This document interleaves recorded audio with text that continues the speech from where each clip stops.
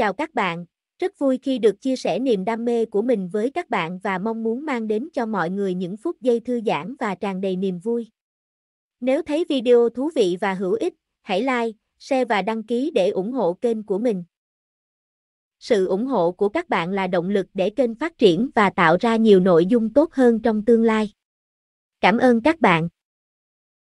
Ông môn trưởng tỷ có không gian, tập 7, thôn trưởng đang cầm tiền thuê nhà của Cố Vân Đông, ăn đậu phộng bộ dáng thoải mái nhàn hạ, nhìn thấy nương tử của mình tiến vào, cũng chỉ là hơi hơi nâng nâng mắt, bên kia đã sửa sang ổn rồi, ổn rồi.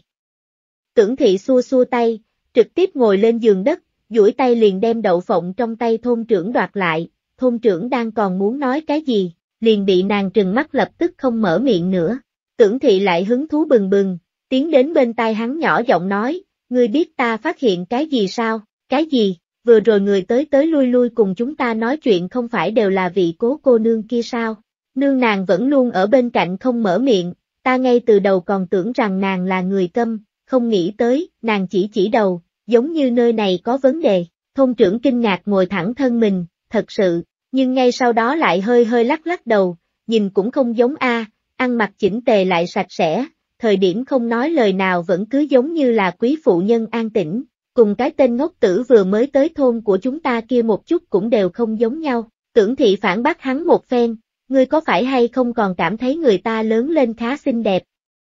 Xem ngươi quan sát người ta cẩn thận như thế, thôn trưởng vội vàng lắc đầu, ta không có.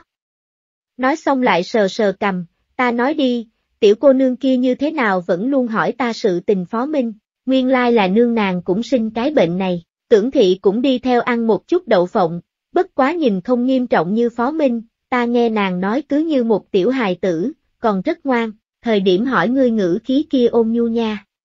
Không có lời ngươi nói, không chú ý đến biểu tình, chỉ cần nhìn vẻ ngoài của nàng, kia thật sự giống như một quý phụ nhân, ăn mặc cũng không tồi, ngươi nhìn xem, ngươi cũng nói như vậy, vậy ngươi vừa rồi còn véo ta, trách ta xem trọng nàng, tưởng thị hung thần ác sát trừng hắn, ta có thể xem, ngươi không thể xem, người ta là nữ, ngươi là đại nam nhân nhìn chầm chầm người ta thì chính là cái đăng đồ tử, thôn trưởng nhược nhược thanh âm, người ta ở nhờ nhà chúng ta, ta không nhìn rõ ràng thì sau này nhận sai làm sao bây giờ, Cố Vân Đông đứng ở bên ngoài cửa sổ nghe một lúc lâu cảm thấy thật vô ngữ, nàng thật sự không cố ý nghe lén, chỉ là nghĩ muốn tới hỏi một chút tưởng thị có nước ấm hay không, không nghĩ tới vừa đi lại đây liền nghe được hai người đó nói đến tên của mình, rốt cuộc ra bên ngoài, nàng cũng sợ gặp được hắc điếm gì gì đó, bởi vậy nghe nhiều thêm hai câu, không nghĩ tới, hai vợ chồng này quả nhiên là trời sinh một đôi, đều như vậy, bác quái, nếu bọn họ không có ác ý, Cố Vân Đông cũng liền không nói cái gì, chỉ là bước chân thoáng tăng thêm vài phần, cách khá xa liền mở miệng gọi tưởng thị. Tưởng thị trừ bỏ cái tính thích bác quái ra, thì các mặt khác còn rất không tồi. Sẽ hỏi khẩu vị của hai mẹ con Cố Vân Đông, hỏi bọn hắn có thói quen về nhiệt độ gì hay không, có cần thêm chăng hay không. Nhưng thi thoảng cũng có hỏi Cố Vân Đông một ít vấn đề riêng tư, có thể trả lời thì nàng đáp, không thể trả lời thì chỉ cười cười, đem tưởng thị chọc đến ngược lại càng thêm tâm ngứa khó nhịn. Cố Vân Đông cũng thực vô ngữ, cũng may chỉ trụ lại một ngày mà thôi, cơm nước xong nàng liền cùng Dương Thị đi nghỉ ngơi. Sáng sớm ngày kế, Cố Vân Đông chuẩn bị xuất phát, dắt xe ngựa ra, đem Dương Thị đỡ đi vào. Ai ngờ mới vừa tính toán đi, tưởng Thị bỗng nhiên kêu nàng, cố nha đầu, ta mang cho ngươi ít củ cải muối, ngươi không phải thích ăn sao? Mang đến trên đường từ từ ăn. Củ cải kia chính là tưởng thị tự mình muối, người trong nhà đều không thích, cố vân đông lại ngược lại, đem tưởng thị cao hứng đến không được. Cố vân đông vội một lần nữa trở về, liền thấy tưởng thị ôm một cái bình nhỏ đi tới, nàng chạy nhanh đi tiếp, ai ngờ bàn tay vừa dơ ra muốn tiếp cái bình, phía trong xe ngựa đột nhiên truyền đến tiếng thét chói tai của Dương Thị, a cố vân đông tâm nhảy dựng, thu hồi tay liền chạy ra bên ngoài, xốc màn xe lên, liền thấy Dương Thị đang rút ở một góc trong thùng xe, hoảng sợ nhìn cái gã nam nhân ăn mặc lôi thôi lết thết đang ngồi đối diện. Nam nhân kia đưa lưng về phía cửa xe, cố vân đông liền xem cũng chưa xem, một phen nắm hắn xả xuống dưới. Đông một tiếng, nam nhân liền bị ném tới trên mặt đất phát ra âm thanh thật mạnh. Cố vân đông cũng mặc kệ hắn, vội vàng lên xe ngựa, ôm lấy Dương Thị vỗ vỗ nàng nói, không có việc gì, nương, không có việc gì a, chớ sợ chớ sợ, ta ở đây, Dương Thị từng ngụm từng ngụm thở hỗn hển, nhưng thực mau đã bình tĩnh trở lại, không có việc gì, đông đông, ta không có việc gì, không lo lắng a. Cố Vân Đông lúc này mới buông tay ra, thấy trên mặt của nàng còn mang theo nụ cười nhu hòa, sợi tóc không có hỗn độn, quần áo trên người cũng chỉnh chỉnh tề tề, thoáng yên tâm lại. Nàng vừa rồi cũng chỉ mới rời khỏi xe không lâu, Dương Thị hẳn chỉ là bị một nam nhân đột nhiên xuất hiện nên hoảng sợ, không bị thương. Cố Vân Đông lúc này mới nhảy xuống xe ngựa, lúc này thôn trưởng cùng tưởng thị cũng đều ra tới, liếc mắt một cái liền thấy được Phó Minh đang ngã trên mặt đất che chân lại rê ỉ. Cố Vân Đông cũng thấy rõ ràng người tới, trên mặt lập tức mang theo thần sắc tức giận, nàng quay đầu nhìn nhìn, nhìn đến bên góc tường kia có cái gậy gỗ, liền cầm lấy muốn tiến lên đánh hắn. Thôn trưởng vội ngăn nàng lại, cố nha đầu cố nha đầu, ngươi bình tĩnh một chút, đây là ngốc tử, đầu óc không thanh tĩnh, chỉ là thấy xe ngựa nên tò mò đi vào mà thôi, ta cũng không thể đã thương người được. Tưởng thị buông cái bình nhỏ, nhìn thấy Dương thị từ trên xe ngựa đi xuống, chạy nhanh đem người đưa tới phía sau cố vân đông, đúng vậy đúng vậy, đừng xúc động, ngươi xem nương ngươi cũng bị dọa rồi kìa, cũng không thể ở trước mặt nàng đánh người được, cố vân đông hừ lạnh, thời điểm chạy nạn nàng còn dám ở trước mặt Dương thị ghế người, còn sợ đánh cái tên Phó Minh cùng nàng có thù oán hay sao? Thôn dân ở cách vách nghe được động tĩnh cũng ra tới, có người liền tiến lên đem Phó Minh nâng dậy, còn răng dạy hắn vài câu, ngươi đây là sáng sớm tới nơi này làm cái gì? Đang êm đang đẹp còn chạy vào trong xe ngựa nhà người ta, trong đó cũng đâu có đồ ăn gì. Phó Minh lại như không nghe được thanh âm người nọ nói chuyện, thời điểm vừa rồi té ngã có lẽ chỉ bị trầy chân mà thôi, lúc này cơn đau không còn mãnh liệt nữa, hắn rốt cuộc có thể nói chuyện được, nhưng hắn không để ý tới bất luận kẻ nào, chỉ là thể hiện một khuôn mặt đáng thương hề hề nói, Vân Đông, Vân Đông ta có thể thấy được ngươi rồi, ngươi không biết, ta mấy ngày nay đã ăn biết bao nhiêu khổ, tiểu cô của ngươi cùng biểu muội của ngươi cũng đi rồi, không nghĩ tới lại ở chỗ này nhìn thấy ngươi, ngươi dẫn ta đi thôi, mọi người sửng sốt, ngốc tử ngươi hôm nay không ngốc nữa sao, ngươi kêu ai là Vân Đông vậy, ngươi như thế nào nói chuyện kỳ kỳ quái quái, thôn trưởng càng là vẻ mặt kinh ngạc, mở to hai mắt nhìn nhìn về phía cố Vân Đông, tưởng thị còn mặt đầy hưng phấn hỏi, cố gia nha đầu, hắn giống như nhận thức ngươi, còn biết tên của ngươi, ngươi nhận thức hắn sao, quả nhiên là có nội tình, làm con sâu bát quái trong người nàng rụt rịch, cố vân đông lạnh nhạt, không quen biết, nói xong liền muốn một lần nữa đỡ Dương Thị lên xe rời đi, đều không buồn liếc mắt nhìn Phó Minh một cái, thậm chí cả bình củ cải muối nhỏ kia cũng không cầm, nhưng Phó Minh nơi nào chịu để nàng đi, lập tức đứng chắn trước mặt nàng đau khổ nói, Vân Đông, ta là dượng của ngươi a, ngươi như thế nào sẽ không nhận biết, ngươi nhìn ta xem, lúc trước thời điểm ở Vĩnh Ninh Phủ, ta rất thương ngươi. Hiện tại ta gặp nạn, ngươi cũng không thể mặc kệ ném ta ở nơi này a, à. dưỡng, mọi người ngạc nhiên, ánh mắt bá một chút toàn bộ tập trung trên người hai mẹ con Cố Vân Đông, bọn họ, thế nhưng là loại quan hệ này. Cố Vân Đông thiếu chút nữa bị tức đến cười, nàng nhìn về phía Phó Minh, ai là dượng của ta, chỉ bằng ngươi, tiểu cô ta chết rồi, ngươi đã cùng người khác cưới gả, ngươi tính là cái gì dượng, mọi người nghe xong đều minh bạch, nguyên lai like đây là thân thích vợ trước của Phó Minh. Lại nói tiếp hiện tại cũng xác thật là không có quan hệ gì, bất quá nếu người dượng này trước kia đã từng chiếu cố qua người ta, đối với tiểu chất nữ này không tồi, vậy nàng cũng không thể vô tình coi như không quen biết như vậy, bằng không quá tán tận lương tâm rồi. Thôn trưởng lại không nghĩ như vậy, hắn không khéo hơn người khác, lại cùng với cố vân đông tiếp xúc qua, xem thái độ nàng đối với mẫu thân nhà mình liền biết đây không phải là loại người vong ân phụ nghĩa. Lúc này đối với Phó Minh thái độ kém thành như vậy, trước kia nói không chừng là đã nháo qua mâu thuẫn lớn gì rồi. Lại nói cố vân đông đây tốt xấu gì cũng ở nhờ nhà mình một đêm, ở trước cửa bị người ta đổ oan như vậy còn ra thể thống gì. Bởi vậy thôn trưởng vẫy vẫy tay, được rồi được rồi, các ngươi những người này sao lại ác mồm ác miệng như vậy chứ? Các ngươi sao biết được người ta trước kia có thật sự là quan hệ tốt hay không, lẩm nhẩm lầm nhầm không dứt, chuyện của nhà mình không tốt còn có tâm tư đi quản chuyện nhà người khác sao. Phó Minh vừa nghe lời này liền sốt ruột, hắn còn tưởng rằng thôn trưởng sẽ nhìn vào phân lượng mình là người cùng thôn mà đứng về phía hắn chứ. Hắn chính là tính toán dùng dư luận làm cố vân đông mang theo chính mình đi, hắn chính là thấy rõ ràng, cố gia hiện tại chẳng những có xe ngựa, ăn mặc còn tốt như vậy, so với tôn quả phụ thì tốt hơn rất nhiều, khẳng định là gặp quý nhân nên cuộc sống mới tốt đẹp như vậy. Cố Vân Đông trong ấn tượng của Phó Minh, vẫn là một tiểu cô nương dễ đối phó, cứ như việc lần trước ở cánh rừng ngoài Khánh An Phủ bị thiết kế qua một lần,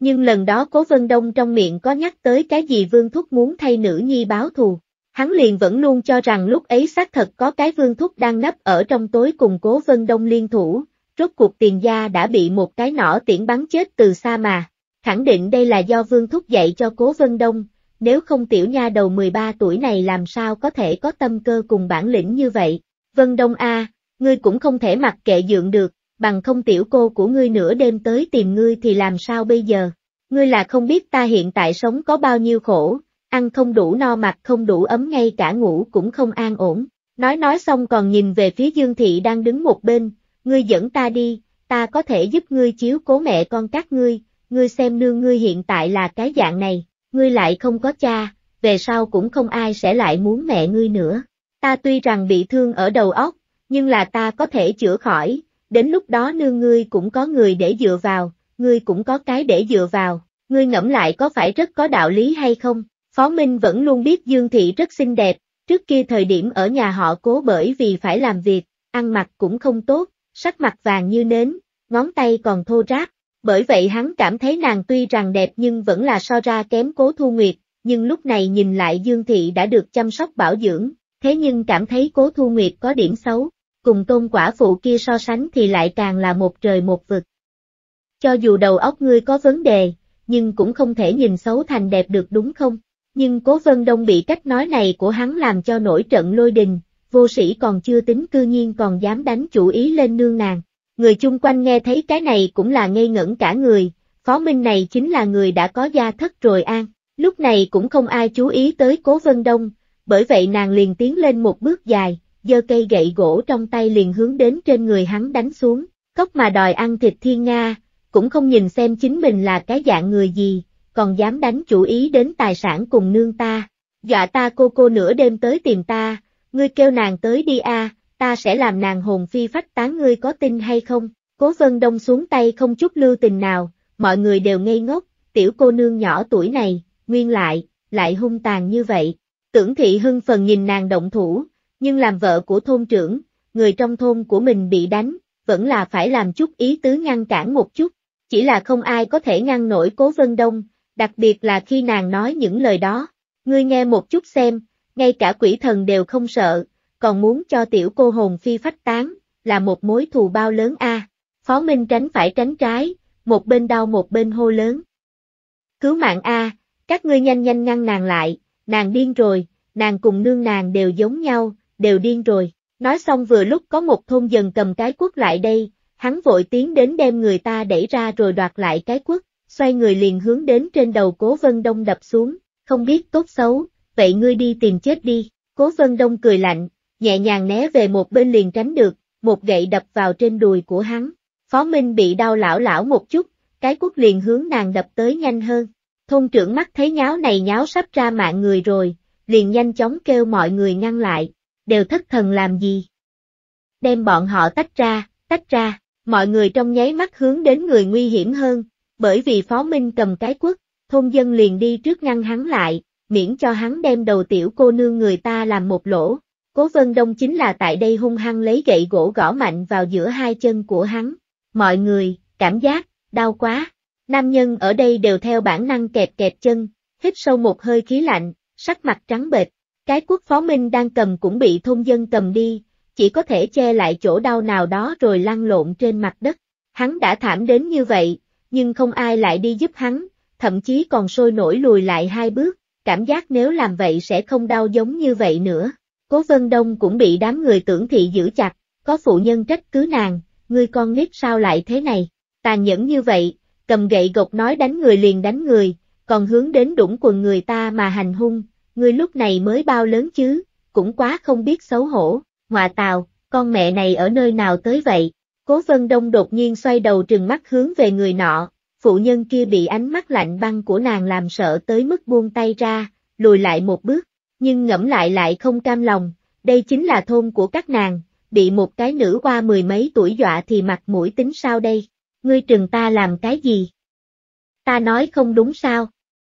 Hắn nói như thế nào cũng là trưởng bối của ngươi, ngươi không, phụ nhân nói đến một nửa cũng không dám nói nữa, cuối cùng lẩm nhẩm lầm nhầm một mình, phó minh kia nói thật không sai, xem ngươi hung ác như thế, chính là người điên, những người khác lại không dám nói, tưởng thị vội trấn an nàng, được rồi được rồi, vốn dĩ chính là miệng quạ của tên phó minh kia nói lung tung, đầu óc của hắn không rõ ràng lắm, ngươi cũng đừng cùng hắn so đo, cố vân đông nhưng thật ra không nghĩ cùng hắn so đo a nàng lần này nhìn thấy hắn không phải tính toán làm như không biết rồi sao, nhưng tiện nhân này một hai phải đến tiền ngược, còn ngăn nàng được sao, cố vân đông bên này bị ngăn đón, phó minh bên kia cũng không có ai đến gần, bởi vậy, ai cũng chưa chú ý đến một bóng hình cầm cục đá liền đi qua, sau đó đột nhiên đập vào đầu phó minh, cho ngươi khi dễ đông đông này, a phó minh kêu lên một tiếng, người liền không động tĩnh, mọi người đều sợ ngây người, Cố Vân Đông đột nhiên mở to hai mắt nhìn, nương,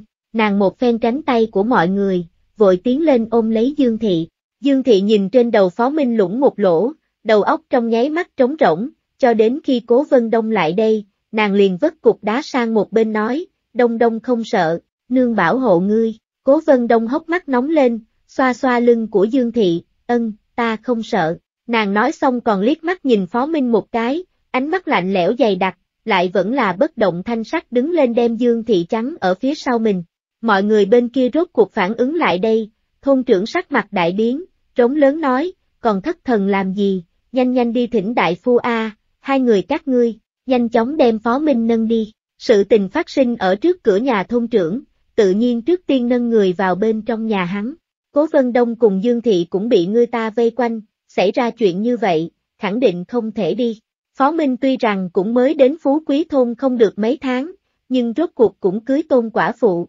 cũng được xem như người của Phú Quý Thôn này. Người ngoài này đã thương người Phú Quý Thôn bọn họ, tổng phải có cái công đạo, hơn nữa công đạo này còn không thể thấp. Chuyện này ngay cả thôn trưởng cùng tưởng thị đều không thể đứng ở bên nàng được. Cố Vân Đông cùng Dương Thị một lần nữa bị thỉnh vào nhà của thôn trưởng, thôn trưởng để người nhìn các nàng, xem tình huống của Phó Minh bên này rồi sẽ quyết định sao. Đại phu trong thôn thực mau đã được mời tới, nhìn nhìn Phó Minh, còn may, không tắt thở, người còn sống. Sức lực dương thị không phải rất lớn, cục đá kia cũng không sai biệt lắm bằng một cái nắm tay, tuy rằng có đầu nhọn nhưng cũng không phải thực sắc bén, cũng không trí mạng, chỉ là máu kia chảy quá nhiều, nhìn thực dọa người, chỉ là người vẫn luôn hôn mê bất tỉnh, cũng không biết sẽ thế nào. Đại phu kia cấp dược thượng châm còn giúp băng bó tốt, lại xem tình huống, nếu là hiện tại không có việc gì trong chốc lát lại đột nhiên ngõm củ tỏi thì làm sao bây giờ? Tưởng thị ở bên ngoài nghe được đại phu nói,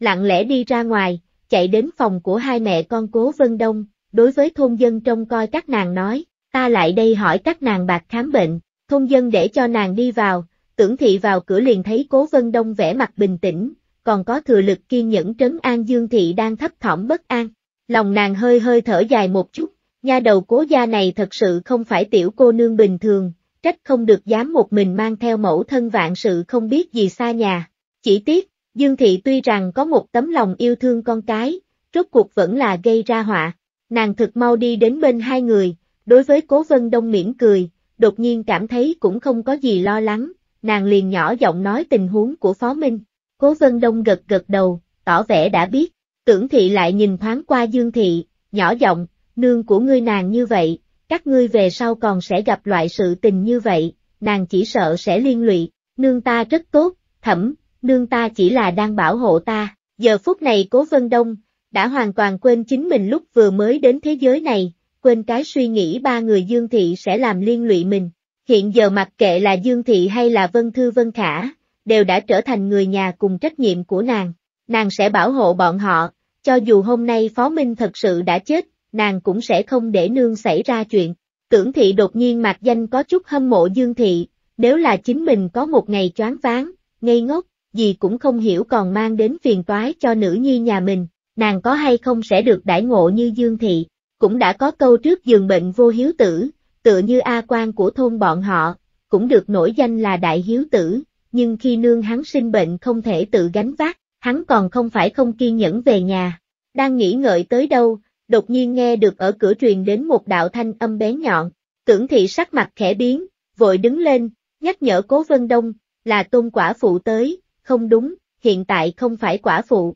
Ai nha, tóm lại chính là nương tử hiện tại của Phó Minh, ta đi ra ngoài xem một chút, tưởng thị ra cửa, quả nhiên nhìn thấy tôn quả phụ vẻ mặt không kiên nhẫn, chính là đang hướng đến căn phòng nơi Phó Minh đang ở đi đến. Sao lại thế này sao lại thế này? Ta nghe nói tướng quân nhà ta bị người ta đánh.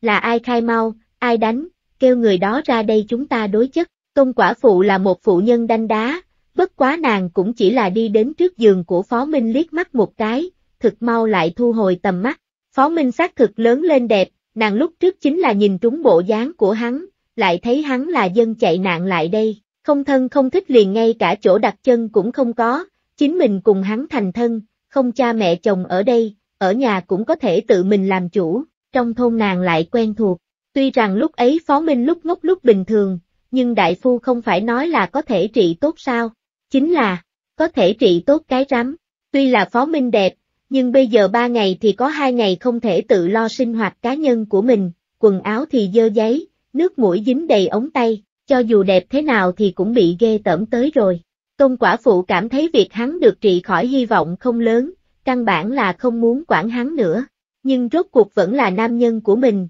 ở trong thôn bị người khác đánh chính là khi dễ nàng. Thôn trưởng, ta nghe nói đánh người chính là một ngoại thôn.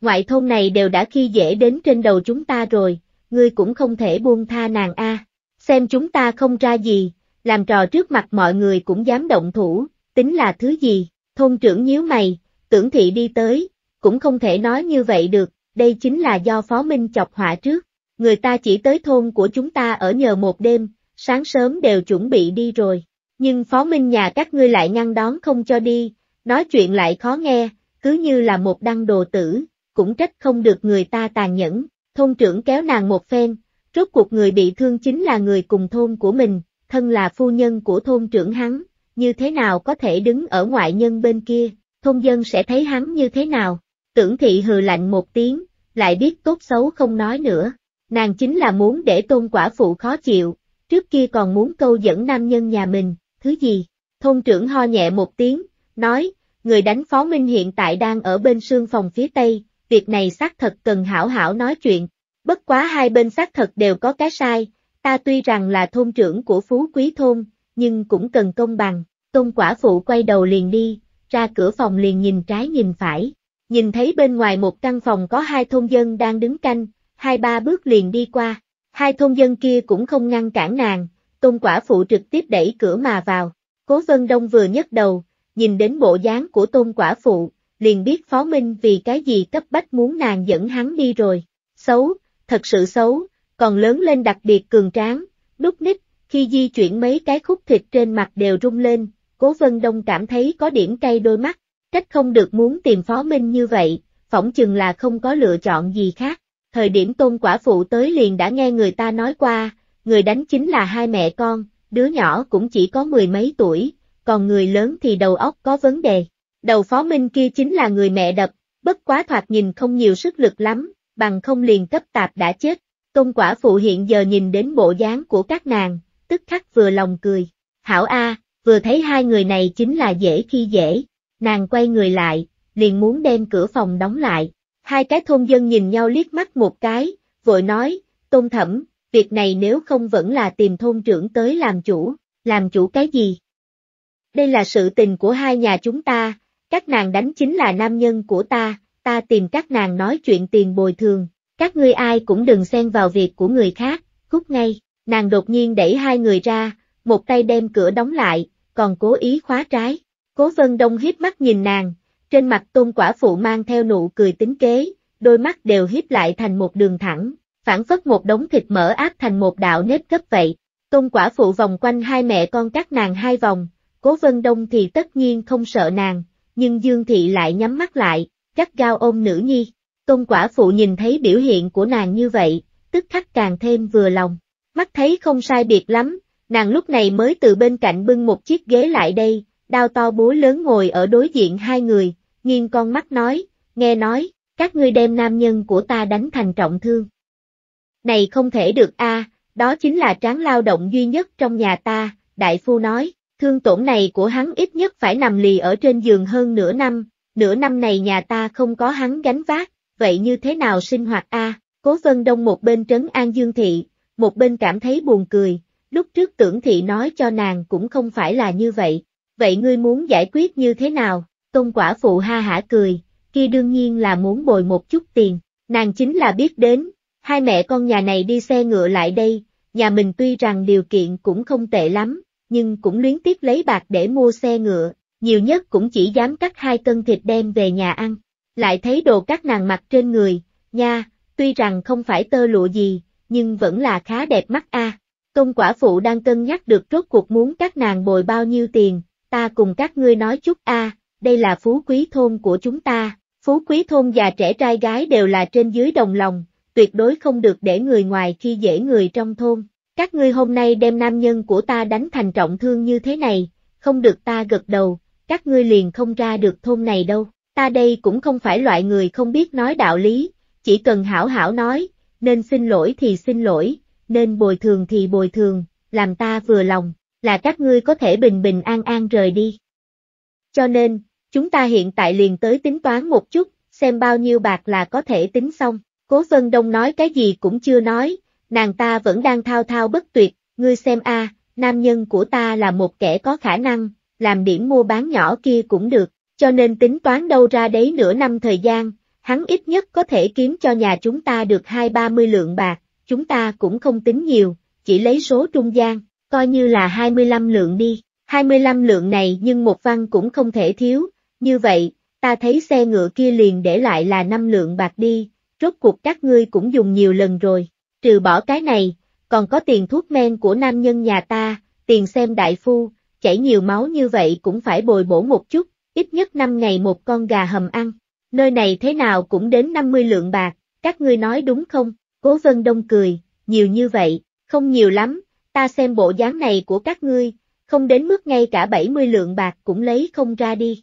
Tôn quả phụ thần sắc trở nên hung ác lên, các ngươi thiếu chút nữa muốn mệnh của nam nhân của ta, nhà này nếu là không có tráng lao động, cũng chính là muốn mệnh của ta, hai mạng người còn không đáng giá nổi 70 lượng cùng một cổ xe ngựa sao. Hay là các ngươi không muốn rời đi thôn này nữa, Dương Thị bị thanh âm đột nhiên nâng cao của nàng dọa rung lên, cố vân đông vội vỗ vỗ bả vai của nàng, ngước mắt đối diện với mắt của tôn quả phụ, ngươi nói chuyện nhẹ nhàng chút đi, ta ôm tồn cùng ngươi nói chuyện, ngươi còn không biết tốt xấu đúng không, công quả phụ nói nói, duỗi tay đẩy bả vai Dương Thị một chút, tin hay không ta đánh các ngươi, đánh gãy tay chân của các ngươi rồi ném vào trong nước không hả, cố vân đông sắc mặt trầm xuống, buông Dương Thị ra đứng lên, một phen đẩy tôn quả phụ ra, ngươi cái tiểu nhà đầu này, tìm chết.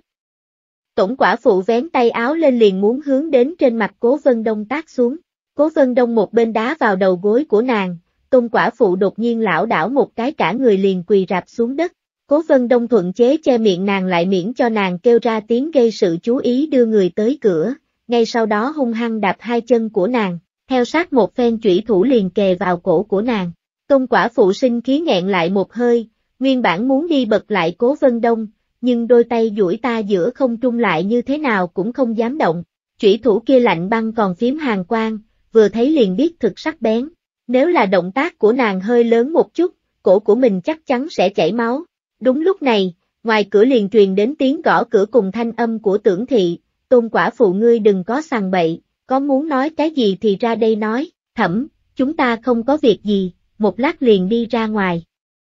Cố vân đông trước đã mở miệng, nàng buông tay đang che miệng tôn quả phụ ra, ghét bỏ xoa xoa nước miếng trên tay lên bả vai nàng ta, đối với tôn quả phụ đang dương miệng muốn nói cái gì đó nói nhỏ, đừng kêu nga, nếu là dọa đến ta, tay sẽ không khống chế được trung A. Tôn quả phụ muốn gật gật đầu, lại không dám, chỉ có thể nhỏ giọng nói, ngươi, ngươi đừng xúc động, ghế người là phạm pháp, phải vào nha môn. Ngươi ngẫm lại tuổi của ngươi còn nhỏ, còn nhỏ như vậy, nếu là vào nhà lao một chuyến, về sau sẽ khó gả chồng. Cố Vân Đông cũng đồng tình gật gật đầu, còn không phải sao.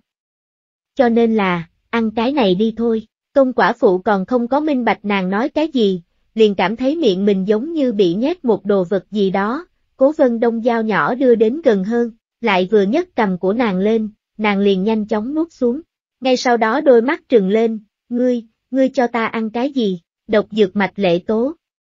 Thứ dược vạn năng A, Cố Vân Đông đã dời đi chủy thủ, tôn quả phụ vội vàng không lưng móc móc ít hầu của mình, nôn nôn nửa ngày, sắc mặt nghẹn đến mức đỏ bừng cũng không thể nhổ ra. Ánh mắt nàng đỏ tươi hướng đến Cố Vân Đông, ngươi muốn độc chết ta, đương nhiên không phải, ta cùng ngươi không oán không thù, ta chỉ là bị ngươi dọa một chút thôi, sợ thôn dân các ngươi không chịu để chúng ta rời đi, cho nên đành phải trước tiên hạ độc ngươi, đem ngươi trở thành con tin, chờ khi chúng ta rời đi, tự nhiên sẽ cho ngươi phương pháp giải độc, công quả phụ há mồm, muốn kêu người bên ngoài, nhưng nàng sợ chết, nếu là đem người này chọc giận không nói biện pháp giải độc cho nàng thì làm sao bây giờ? Cố Vân Đông nhìn biểu tình của nàng, xác thật được đây là một kẻ phi thường sợ chết. Lúc trước có thường phú cũng uống mạch lệ tố, ít nhất còn sẽ hoài nghi một chút, bị nàng hù dọa hai lần mới tin. Nhưng người trước mắt này, nàng nói là độc dược, nàng ta liền lập tức tin tưởng không mang theo chút nghi ngờ nào.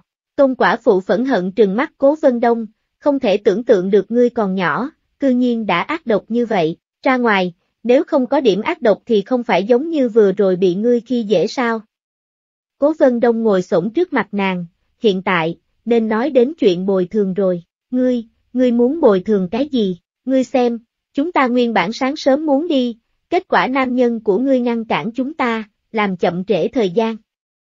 Thời gian của ta thực quý giá, này đến bồi thường đi. Hắn còn nổi điên muốn lấy cái quốc muốn đập chết ta, ta sợ tới mức hiện tại tim còn đập đập nhảy loạn đây, bồi thường đi. Lại nói, ngươi vừa rồi còn uy hết đe dọa đẩy nương ta một phen, đem nương của ta dọa sợ, này cũng phải bồi thường đi. Ta tâm địa thiện lương, cũng không cần nhiều, đem tiền bạc trên người của ngươi đều lấy ra là đủ rồi. Nàng tổng không thể còn chạy đến trong nhà của tôn quả phụ, không có thời gian để làm mấy việc đó. Tôn quả phụ không muốn đưa, nhưng chính mình trúng độc, chờ đến khi cố vân đông nói độc dược còn có 30 phút nữa thì phát tác, liền vội vàng không ngừng đem bạc trong tay áo lấy ra hết. Cố vân đông cao mày nhìn năm lượng bạc ở trong tay, còn ở đâu nữa, không, không còn nữa, ân, ta lập tức lấy, cố vân đông liền thấy nàng ngồi bệt xuống đất, đè nặng thịt mỡ trên bụng, có chút gian nan cởi giày ra, từ dưới miếng lót giày lấy ra một tờ ngân phiếu năm lượng bạc đưa ra, cố vân đông,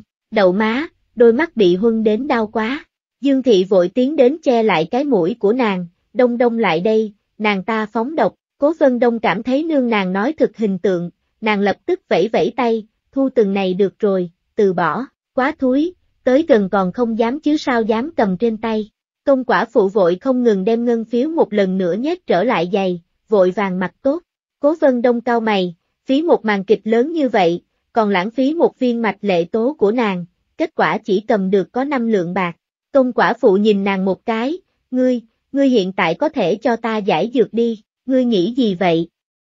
Cố vân đông hừ lạnh một tiếng, đứng lên đi, ra cửa nói với những người khác rằng để hai mẹ con chúng ta đi, chờ cho chúng ta an toàn rời đi, tự nhiên sẽ nói cho ngươi phương pháp giải độc. Công quả phụ giận mà không dám nói gì, cũng không biết có phải tác dụng của tâm lý hay không, nàng cảm giác trên người mình hiện tại rất đau, chẳng lẽ trước khi độc phát chết còn có cái thống khổ gì nữa sao? Nàng lập tức không dám trì hoãn, vội vàng bò dậy mở ra cửa phòng. Hai người ngoài cửa cảm thấy thật kỳ quái vì không cảm thấy động tĩnh gì bên trong, liền thấy tôn quả phụ sụ mặt đi ra. Thôn trưởng cùng tưởng thị cũng ở bên ngoài, thấy nàng ra tới, tưởng thị vội vàng vào nhà xem. Cố Vân Đông cũng mang Dương Thị ra tới, nàng thấy hai mẹ con đều không có việc gì, lúc này mới thoáng thở dài nhẹ nhõm một hơi, thôn trưởng bên kia đang giáo huấn tôn quả phụ. Đều nói chuyện này ta sẽ xử lý, ngươi làm loạn thêm làm cái gì, ngươi nếu không đem thôn trưởng này để vào mắt, về sau có chuyện gì cũng không cần tìm ta, tôn quả phụ vội cười nói, không có không có, ta đây không phải là nghĩ đây chỉ là việc nhỏ thôi sao, Ta tìm các nàng để thương lượng một chút rốt cuộc phải giải quyết như thế nào mới tốt. Xem, này không phải là đã giải quyết rồi sao, chúng ta đều đã bàn bạc xong. Thôn trưởng, ngươi nhanh nhanh để các nàng đi thôi, nghe nói các nàng không có nhiều thời gian đâu. Thông trưởng, hắn gặp quỷ rồi. Tưởng thị, tôn quả phủ lại muốn câu dẫn nam nhân của nàng có phải hay không? Cười đến nịnh nọt như vậy, nàng trừng mắt nhìn tôn quả phụ một cái, vội hỏi cố vân đông, nàng không khi dễ các ngươi đi, cố vân đông lắc đầu, không có, tôn thẩm vẫn là thực có đạo lý, chúng ta cùng nàng nói sự tình trải qua, cũng xin lỗi, nàng đặc biệt cảm thông chúng ta là hai nữ tử nhu nhược cũng không dễ dàng, biết chúng ta còn có việc gấp, liền nói tự mình cùng các ngươi giải thích, không truy cứu chúng ta, tôn quả phụ nhịn không được run run, xin lỗi. Nữ tử nhu nhược. Nha đầu thúi này cũng quá biết diễn kịch đi, tưởng thị biểu tình phức tạp, tôn quả phụ là người sẽ biết đạo lý sao. Cố vân Đông Phi thường khẳng định gật gật đầu, đúng vậy, cũng đã chậm trễ 30 phút, nếu lại không đi liền không đuổi kịp trấn nào trọ lại, tưởng thị nghi hoặc, các nàng chậm trễ không chỉ có 30 phút đi, nhưng tôn quả phụ nghe được 30 phút, đột nhiên nôn nóng lên, đúng vậy đúng vậy, hai nữ nhân tổng không thể ăn ngủ ngoài trời ở vùng núi hoang vu giả ngoại, không an toàn, nhanh nhanh để các nàng lên đường đi. Bằng không nếu là người ngoài biết, còn tưởng rằng thôn của chúng ta khi dễ người ta đấy, thôn trưởng thật sự cảm thấy chính mình gặp quỷ, hắn như thế nào lại cảm giác dường như không quen biết tôn quả phụ, nhưng, Phó Minh còn chưa có tỉnh đâu, làm người bị hại, tổng khổng thể gì cũng không biết đi, vừa mới dứt lời, bên kia liền có thôn dân hô lên, tỉnh tỉnh, Phó Minh tỉnh. Thôn trưởng, các ngươi mau đi xem một chút đi, thôn trưởng vội vàng đi vào xem, những người khác cũng lục tục chạy đến. Cố Vân Đông không quá muốn đi, nhưng bị tưởng thị cấp kéo đi. Trên trán Phó Minh còn băng bó hai tầng vải thật dày, giờ phút này trợn tròn mắt, nhìn người đứng ở mép giường. Cuối cùng tầm mắt dừng ở trên người tôn quả phụ, tôn quả phụ nhíu mày, tên hỗn đảng này nhưng đừng lúc này làm ra chuyện xấu gì không cho hai mẹ con cố gia đi a, nàng còn phải giải độc đâu. Kết quả ngay sau đó, Phó Minh bỗng nhiên ngậm ngón tay, hắc hắc hắc nở nụ cười, nương tử, đã đói bụng, mọi người vừa thấy, đến, lại biến thành ngốc tử rồi. Lúc này cũng không thể hỏi ý kiến của hắn, vậy chỉ có thể để tôn quả phụ định đoạt. Người ta nếu đã không so đo, hơn nữa Phó Minh cũng không có vấn đề lớn gì, bọn họ tổng không thể giữ mãi hai nữ tử nhu nhược không cho họ đi. Nói nữa, xác thật là do Phó Minh treo chọc trước, đang êm đẹp người ta phải đi rồi còn một hai phải ngăn cản không cho đi, còn nói mấy câu không đàng hoàng. Các thôn dân đều lục tục đi rồi, tôn quả phụ thực sốt ruột, hỏi cố Vân Đông, các ngươi cũng nhanh đi đi, được rồi, lập tức liền xuất phát, bọn họ xác thật chậm trễ không ít thời gian, hôm nay lại phải ra roi thuốc ngựa, tưởng thị thấy không vấn đề gì, vội đem cái bình nhỏ kia ôm ra cho nàng, cầm lấy đi, về sau nếu là trở về đi ngang qua thôn, thẩm lại cho làm cho ngươi thêm một vò, không uổng công phu, cảm ơn thẩm.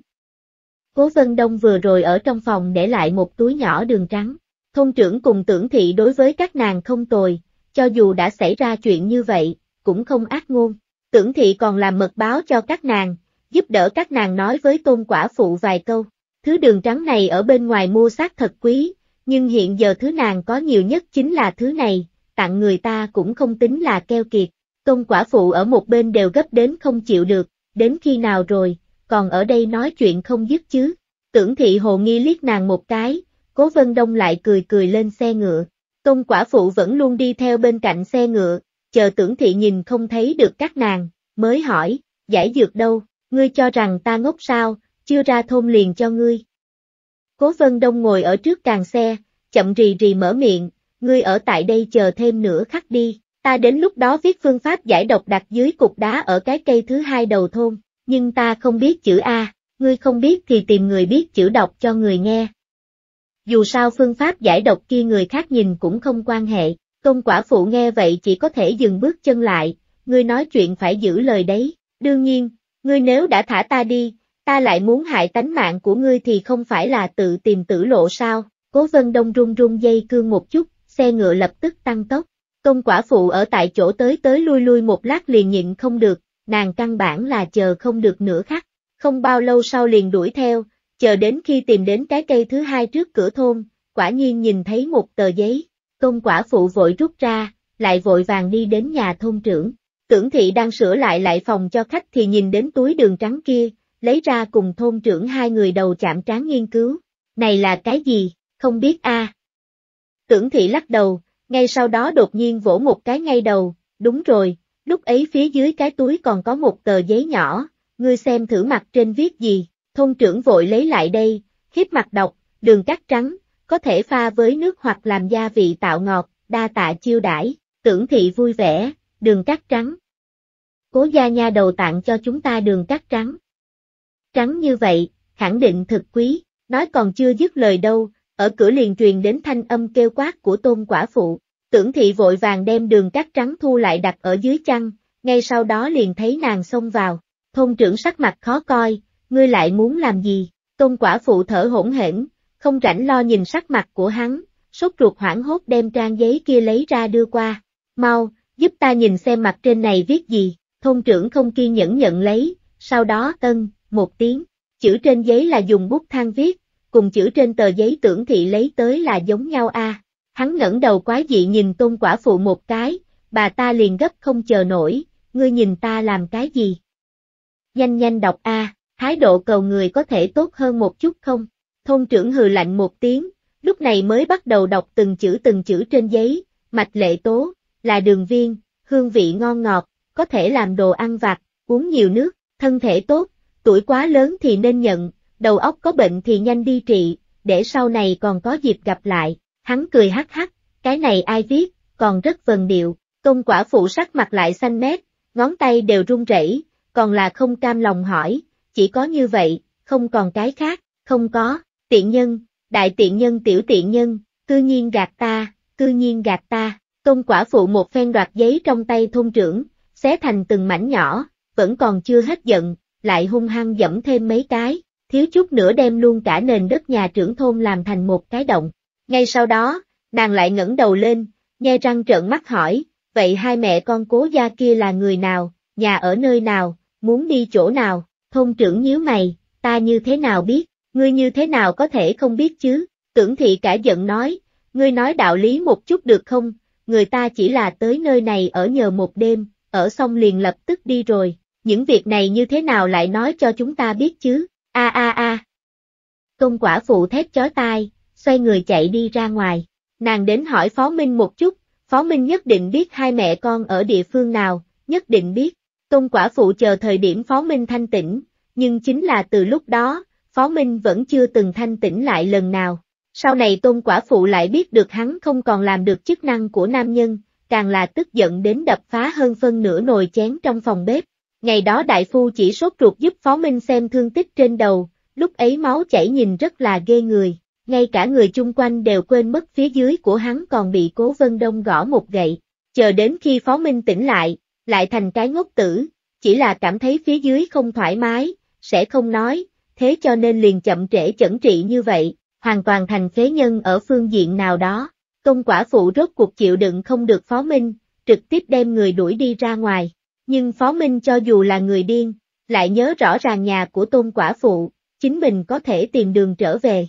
Thậm chí tính tình còn trở nên táo bạo, tôn quả phụ lại đuổi hắn đi, hắn liền đánh nàng. Sau đó tôn quả phụ liền bỏ đói hắn, rồi tìm mọi cách lừa hắn rời đi phú quý thôn. Tiếp theo Phó Minh lại tìm được đường trở về, tiếp tục đánh nàng. Hai người liền như vậy tuần hoàn lặp lại, cuộc sống một ngày lại một ngày càng gian nan. Cố Vân Đông rời đi phú quý thôn, tâm tình lại thực hảo. Dương Thị cũng cười hì hì, ra ngoài càng xe lôi kéo tay nàng, Đông Đông thật là lợi hại, nương cũng lợi hại. Cố Vân Đông xoay đầu, bất quá về sau không cần vọt tới trước mặt người xấu, Phó Minh bởi vì ngã xuống trên mặt đất nên mới không có năng lực đánh trả, nếu là hắn đánh trả, nương sẽ bị thương. Dương Thị cũng không biết là nghe hiểu hay là không hiểu, chỉ là nghiêng đầu, bỗng nhiên chỉ vào nơi xa nói, bên kia chúng ta trước kia đã tới, cố vân đông theo ngón tay nàng nhìn lại, là đã tới, lúc trước bọn họ đi xe bò từ Khánh An Phủ đến Tuyên Hòa Phủ, đã từng đi qua bên này, cứ như vậy đi thêm 5-6 ngày nữa, xe ngựa rốt cuộc đến Khánh An Phủ, thời điểm lần trước tiến vào Khánh An Phủ, chỉ có thể đứng ở ngoài thành không được vào, lần này được tiến vào, phủ thành này so với Tuyên Hòa Phủ mà nói, lại tiêu điều hơn rất nhiều. Không có biện pháp, khoảng cách năm trước đại loạn cũng mới không bao lâu. Nghe nói Khánh An Phủ lúc ấy không ngừng có tri phủ bị ghế, phú thân quyền quý bên trong thành cũng có không ít trở thành những miếng ngồi ngon béo bở của thổ phỉ, trực tiếp lao vào trong phủ hết chém lại đoạt. Bình dân bá tánh thì càng là gặp nạn, trốn mau thì tránh được một kiếp, trốn không mau thì gặp được những kẻ thổ phỉ vô nhân tính đó cũng chỉ có bị ghế. Lưu dân thì chỉ đoạt đồ vật rồi thôi, nhưng cũng sẽ dễ phát sinh xung đột, đánh chết đã thương cũng không ít. Đại loạn kia làm Khánh An phủ tổn thất thảm trọng. Cố Vân Đông nắm dây cương điều khiển xe ngựa đi qua, liền thấy bên đường có không ít cửa hàng bị đập nát đang muốn sửa chữa một lần nữa. Trên đường hàng quán bày ra rất nhiều, Cố Vân Đông mua cho Dương Thị một ít đồ ăn, thuận tiện hỏi thăm một chút vị trí của Huệ dân y quán. Huệ dân y quán xem ra vẫn là tương đối nổi danh, thực mau liền có người chỉ vào phía trước nói, ngươi đi đến đầu kia, sau đó quẹo trái, lại đi một đoạn đường là có thể tới rồi. Cố Vân Đông nói tạ, sau đó nhanh chóng đi theo chỉ dẫn. Cũng không biết Tống Đại Phu có ở Khánh An Phủ hay không, chỉ mong hắn đã tới rồi, cũng chỉ mong hắn còn chưa đi. Đến Huệ dân y quán, Cố Vân Đông liền thấy bên ngoài đứng không ít người. Có tiểu nhị nhìn thấy nàng, vội tiếp đón nàng rồi hướng dẫn nàng đem xe ngựa đưa đến bên cạnh, sau đó đến bên kia xếp hàng. Cố Vân Đông thấy xe ngựa nhà nàng xác thật đang chiếm chỗ, vội dắt đến để ở một góc vắng người. Sau đó nàng mới mang theo Dương Thị đi đến bên người tiểu nhị kia, tiểu huynh đệ, ta tìm trưởng quầy của y quán các ngươi. Tiểu nhị kia ngây người một chút, nhìn cố vân đông so với chính mình còn lùng hơn nửa cái đầu. Tiểu huynh đệ, tiểu nhị kia tận lực xem nhẹ xưng hô của nàng, ho nhẹ một tiếng rồi nói, ngươi là ai, tìm trưởng quầy chúng ta có chuyện gì, ta là từ tuyên hòa phủ bên kia lại đây, là được Hà Đại Phu giới thiệu. Nói nói, Cố Vân Đông từ trong tay áo lấy ra một phong thư, đây là thư tín Hà Đại Phu tự tay viết, tiểu nhị thật ra cũng biết ở Tuyên Hòa Phủ có một Hà Đại Phu, lần trước vừa mới tới đây, hắn vội mời Cố Vân Đông hướng bên trong đi, ngươi trước tiên ở đây đợi một lát, ta đi tìm trưởng quầy, nói xong cầm lá thư Cố Vân Đông đưa hướng hậu viện chạy tới, qua một hồi lâu, tiểu nhị kia mới ra tới, trưởng quầy chúng ta thỉnh các ngươi đi vào, đi theo ta. Cố Vân Đông mang theo Dương Thị đi theo sau tiểu nhị vào hậu viện, trưởng quầy của Huệ dân y quán chính là một nam tử trung niên tầm 40 tuổi, lúc này đang ở hậu viện cầm một gốc dược liệu nói chuyện cùng một đại phu. Nhìn thấy các nàng lại đây, trưởng quầy liền để cho đại phu kia trước đi tiền đường. Tin tức Hà đại phu đưa đến ta đã xem, mục đích của các ngươi ta cũng rõ ràng, trưởng quầy để cho các nàng ngồi, rồi nhìn thoáng qua Dương Thị, hỏi, người bệnh chính là vị phu nhân này đi. Dương Thị liền hơi hơi núp mình sau người Cố Vân Đông. Hà Đại Phu viết tin cũng không phải là tường tận tỉ mỉ, rốt cuộc cùng Cố Vân Đông cũng không tính là quen thuộc, chỉ là giúp một tay nhờ trưởng quầy giúp đỡ, nếu có thể thành toàn một mảnh hiếu tâm của cố cô nương thì đương nhiên tốt, nhưng nếu là Tống Đại Phu bên kia không đồng ý, cũng không có khả năng miễn cưỡng, trưởng quầy, cũng bất quá chính là người trung gian mà thôi, đúng vậy. Cố Vân Đông nắm lấy tay Dương Thị, có chút vội vàng hỏi, Tổng Đại Phu hiện đang ở Khánh An Phủ sao, trưởng quầy thấy được động tác rất nhỏ của nàng, trong lòng hơi hơi thở dài một hơi, Tống Đại Phu đúng là đang ở Khánh An Phủ, chỉ là, chỉ là cái gì?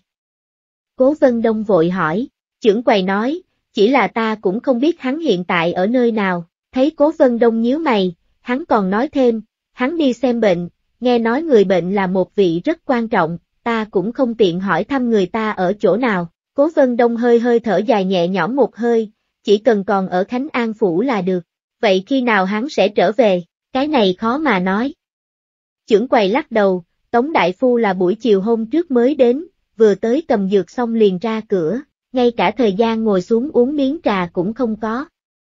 Từ đó đến nay, cũng chưa trở về lần nào, Cố Vân Đông nhíu mày, lâu như vậy. Bất quá ngươi yên tâm, đồ đạc của Tống Đại Phu còn ở chỗ Huệ dân y quán chúng ta, hắn khẳng định sẽ còn đến đây, cố vân đông nhấp nhấp môi, xem ra nàng chỉ có thể chờ. Nàng ngước mắt nhìn trưởng quầy một cái, nhấp nhấp môi từ trong bao quần áo tùy thân lấy ra một túi đường trắng, đa tạ tào trưởng quầy đã nói cho ta, còn thỉnh ngươi nhận cái này, chỉ là chút tạ lễ, tào trưởng quầy vội cự tuyệt, cái này ta cũng không thể thu, ta chỉ là nhìn mặt Hà Đại Phu nhiều lời thêm hai câu mà thôi, ngươi, Nói đến một nửa thì đột nhiên dừng lại, tầm mắt chăm chăm nhìn vào đường trắng đang nằm ở trong túi. Hắn một phen cầm lại đây, mở to hai mắt nhìn cẩn thận một chút, thật đúng chính là đường trắng. Tào trưởng quầy cũng coi như là kiến thức rộng rãi, hắn biết kinh thành bên kia trong khoảng thời gian này đang thịnh hành đồ vật gì nhất, chính là đường cắt trắng như tuyết mà triều đình chế ra, nghe nói những nhà quyền quý trong kinh thành đều tranh nhau đoạt đến điên rồi. Hiện giờ sở hữu thứ này không chỉ đại biểu là người có tiền, nó còn đại biểu cho thân phận địa vị, bởi vì thứ này thiếu, còn là vật hiếm lạ, những cái công tử tiểu thư trong kinh thành đều muốn đua đòi, hôm nay làm yến hội hôm kia ngắm hoa, bưng điểm tâm lên đều phải có thưa thớt vài hộp đường trắng, đồ càng ngọt càng có nhiều đường trắng thì càng minh chứng cho địa vị quyền thế nhà đó. Chủ nhân phía sau của Huệ dân y quán cũng mua một chút, chỉ là Huệ dân y quán ở Đại Tấn Quốc có rất nhiều nhà, mỗi nhà phân một chút, kia thật sự chính là cơ hội nếm cho ngọt cái miệng cũng không có. Tào trưởng quầy chính là đem một chút đường trắng kia thu thực kín mít, nhưng không nghĩ tới cô nương này một hơi liền lấy ra một túi, nơi này ít nhất cũng có hai cân đi. Nếu là cô nương này cấp bạc, hắn thật đúng là sẽ không thu. Nhưng đường trắng, trong lòng tào trưởng quầy tranh đấu dữ dội, cố vân đông tự nhiên nhìn đến vẻ mặt biến hóa của hắn, liền bỏ thêm một câu, kỳ thật ta còn muốn thỉnh tào trưởng quầy giúp một chút, ta lát nữa sẽ đi đến khách điếm kế bên thuê một cái phòng, nếu là Tống Đại Phu trở lại, thỉnh tào trưởng quầy để tiểu nhị của y quán trước tiên đi nói cho ta một tiếng, ngươi xem được không? Được, đương nhiên được. Ân, cái này làm hắn có thể an tâm nhận lấy đường trắng rồi. Chỉ là ngay sau đó, hắn đột nhiên nhớ tới cái gì, nhanh chóng nói, ngươi là tính toán đến khách điếm khách tự vân lai sao? Vậy thì nhanh chân lên a, khách điếm kia sinh ý rất tốt, đến chậm thì không còn phòng tốt đâu. Cố Vân Đông nghe vậy vội nói tạ, mang theo Dương Thị liền đi. Nàng vận khí còn tính là tốt, thời điểm đặt phòng vừa lúc còn lại một gian thượng phòng, trong đó còn là một cái giường cỡ lớn. Cố Vân Đông nhanh nhanh đưa bạc, bên này vừa mới đưa, mặt sau liền lại có người hỏi thượng phòng. Nàng thở dài nhẹ nhõm một hơi, lúc này mới mang theo Dương Thị đi theo tiểu nhị lên lầu. Tiến được vào phòng nàng liền trút được gánh nặng, để cho Dương Thị ở chỗ này chờ nàng, nàng lần nữa đi đến y quán, cùng tàu trưởng quầy nói số phòng của mình, thuận tiện đem xe ngựa đi đến chuồng ngựa của khách điếm. Ngay sau đó mới đi trở về đại đường, hỏi tiểu nhị muốn một phần đồ ăn đưa đến phòng. Không nghĩ tới mới vừa đi vào, liền nhìn thấy một hài tử có chút quen mắt. Cố Vân Đông không khỏi nhìn nhiều thêm hai mắt, nhưng cái nam nhân cao gầy đang ôm hài tử kia lại hung hăng trừng mắt nàng, nhìn cái gì mà nhìn. Ngay sau đó liền vội vàng hướng bên người nàng đi qua, cũng chỉ trong khoảnh khắc đó, Cố Vân Đông đột nhiên nhớ tới chính mình ở nơi nào gặp qua đứa nhỏ này, còn không phải là tiểu hài tử trắng trẻo mập mạp ở cách vách nàng gặp lúc đang đi chạy nạn trên đường sao. Vừa lúc, tiểu nam hài này chính là tiểu nam hài Cố Vân Đông đã gặp qua. Lúc trước cái đoạn thời gian chạy nạn đó, nhìn thấy tất cả hài tử khác đều là xanh sao vàng vọt hơi thở thoi thóp, bởi vậy khi nhìn thấy tiểu hài tử có hai cái má nộn nộn, cũng làm cho nàng ấn tượng rất sâu. Nàng nhớ rõ lúc trước người mang theo hài tử kia chính là vị được gọi là Cao Thúc Thúc gì đó, là một nam nhân có võ công rất cao cường, vừa thấy quần áo trên người bọn họ liền biết là một thân phú quý. Nhưng còn bây giờ thì sao? Hài tử trên người ăn mặc bố y thô sơ, cùng cái nam nhân cao gầy kia cũng là giống nhau, hơn nữa sắc mặt tự hồ rất hoảng loạn bất an, thấy mình nhìn nhiều hơn một chút liền lập tức hung thần ác sát bước chân càng mau. Này thực không thích hợp, nếu hai tử kia thật sự là gia đạo sa sút mua không nổi quần áo thì còn tính, nhưng nhìn khuôn mặt kia vẫn là bụ bẩm trắng nõn vừa thấy liền biết là được nuông chiều từ bé. Hơn nữa đứa nhỏ này lúc này tuy rằng đang nhắm mắt hôn mê, nhưng trên mặt lại rõ ràng mang theo nước mắt. Cố vân đông sắc mặt phát lạnh, thấy nam nhân kia đi ra đại môn của khách điếm, lập tức chạy lại chặn hắn, ngươi là ai? Ngươi muốn mang đệ đệ ta đi nơi nào? Nam nhân kia sửng sốt, sắc mặt đột nhiên liền thay đổi, ngươi nói cái gì? Ai là đệ đệ ngươi, đây là nhi tử của ta, ha, nhi tử. Nhìn nhìn nhưng một chút cũng đều không giống. Nói bậy, rõ ràng là đệ đệ ta đi theo cao đại ca tới tìm ta, khi nào lại thành nhi tử của ngươi.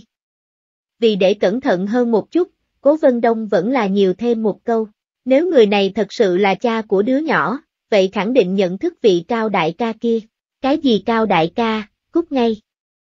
Nam nhân kia vừa nói, vừa hướng bên cạnh đưa mắt ra hiệu, thực mau liền có mấy người hướng bên này súng lại đây. Thực hảo, xác thật là bọn buôn người không thể nghi ngờ, lại còn có đồng lõa nữa cơ. Nói như thế nào cũng coi như là một hồi quen biết, lại cùng nhau ghé qua tặc tử, vị cao đại ca kia còn trả lại cho nàng một túi màn thầu bánh nướng lớn. Gặp được loại sự tình này như thế nào cũng đều phải quản. Cố Vân Đông đột nhiên tiến lên, đánh đòn phủ đầu, một phen giữ chặt ngón tay của hắn bẻ ngược ra sau, chờ khi hắn ăn đau buông lỏng tay, trong nháy mắt liền đoạt lấy hài tử lui ra phía sau vài bước. Ngay sau đó liền đối với người vây xem lớn tiếng kêu, đây là bọn buôn người, mọi người nhanh nhanh bắt lấy hắn, nam nhân sắc mặt đại biến, trầm giọng kêu lên, ngươi mới là giả nha đầu không biết từ nơi nào tới, đó là nhi tử của ta, đem hài tử trả lại cho ta có nghe hay không? Mọi người mau giúp đỡ, cô nương này cũng không biết là bị ai sai xử, muốn mang nhi tử của ta đi.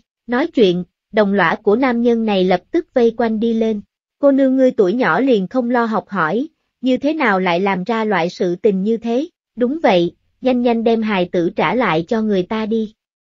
Ngươi không thấy được phụ tử bọn họ đều mặc y phục giống nhau sao, đến lúc đó hảo hảo nói lời xin lỗi, người ta cũng sẽ không trách ngươi, lần sau đừng làm loại chuyện này nữa, ngươi nhìn ngươi xem ngay cả tư thế ôm hài tử cũng không đúng, đáng thương, đừng đem hài tử làm đau. Nói xong liền có ba bốn người động thủ muốn tiến đến đoạt lại hài tử, người bên cạnh nguyên bản đang vây xem vừa nghe được lời này, đều có chút do dự. Ba người thành hổ, mọi người đều đứng ở phía nam nhân cao gầy bên kia, những người khác tự nhiên cũng cảm thấy hai người này chính là phụ tử. Cố vân đông nhíu mày, nhất chân liền đem một phụ nữ trung niên muốn tiến đến đoạt hài tử đá bay. Ba người còn lại thật là sửng sốt, nam nhân cao gầy kia càng là trên mặt hiện lên một tia âm ngoan, đưa mắt ra hiệu, ba người đồng thời lại đây. Người tính toán kéo tay, kẻ tính toán ôm hài tử, người lại tính toán kéo tóc, véo cánh tay của nàng, nhưng đều không đợi mấy người này đụng tới. Cố Vân Đông liền linh hoạt định hình người trông có vẻ gầy yếu nhất, một chân hướng đến vị trí giữa hai chân của hắn đá tới. Người nọ lập tức đau đến cong lưng, Cố Vân Đông liền băng qua bên người hắn trực tiếp chạy vào trong khách điếm. Nàng đối với mấy người ở đây còn chưa rõ đầu đuôi nói, mấy người này đều là một nhóm, bọn họ mới là kẻ buôn người. Mọi người nếu là không tin, thì cứ việc báo quan, ta liền ở khách điếm đây chờ quan sai đại ca tới bắt người. Tiểu nhị khách điểm đột nhiên phục hồi tinh thần lại, cô nương này là khách nhân nơi này của bọn họ, mang theo mẫu thân tựa hồ có chút ngây dại tới, nghe nàng nói chuyện tao nhã vừa thấy chính là người có học vấn có tố chất. Lúc nàng nhờ hắn hỗ trợ chiếu cố nương nàng cũng là một mặt cười thanh khách phá lệ hữu hảo, còn thưởng cho hắn một lượng bạc đâu. Bởi vậy hắn khẳng định là đứng ở bên cố Vân Đông, lập tức liền duỗi tay trắng trước người cố Vân Đông, đối với mấy người đang muốn đi lên cướp hài tử nói, vị cô nương này là khách nhân của khách điếm chúng ta, còn người hán tử này, không phải là khách nhân, cũng không phải tới để ăn cơm, như thế nào lại từ khách điếm chúng ta đi ra ngoài, hán tử kia sắc mặt đại biến, lùi lại một bước nho nhỏ, ta, ta chỉ là mang theo hài tử đến đi nhờ nhà xí, kỳ thật hắn chính là lợi dụng thời điểm đông người đi theo sau xe ngựa của khách nhân từ hậu viện lẻn vào, lại mượn cơ hội đi ra từ đại môn. Người vây xem nghe Cố Vân Đông nói câu báo quan kia, liền không sai biệt lắm nghiêng về phía nàng.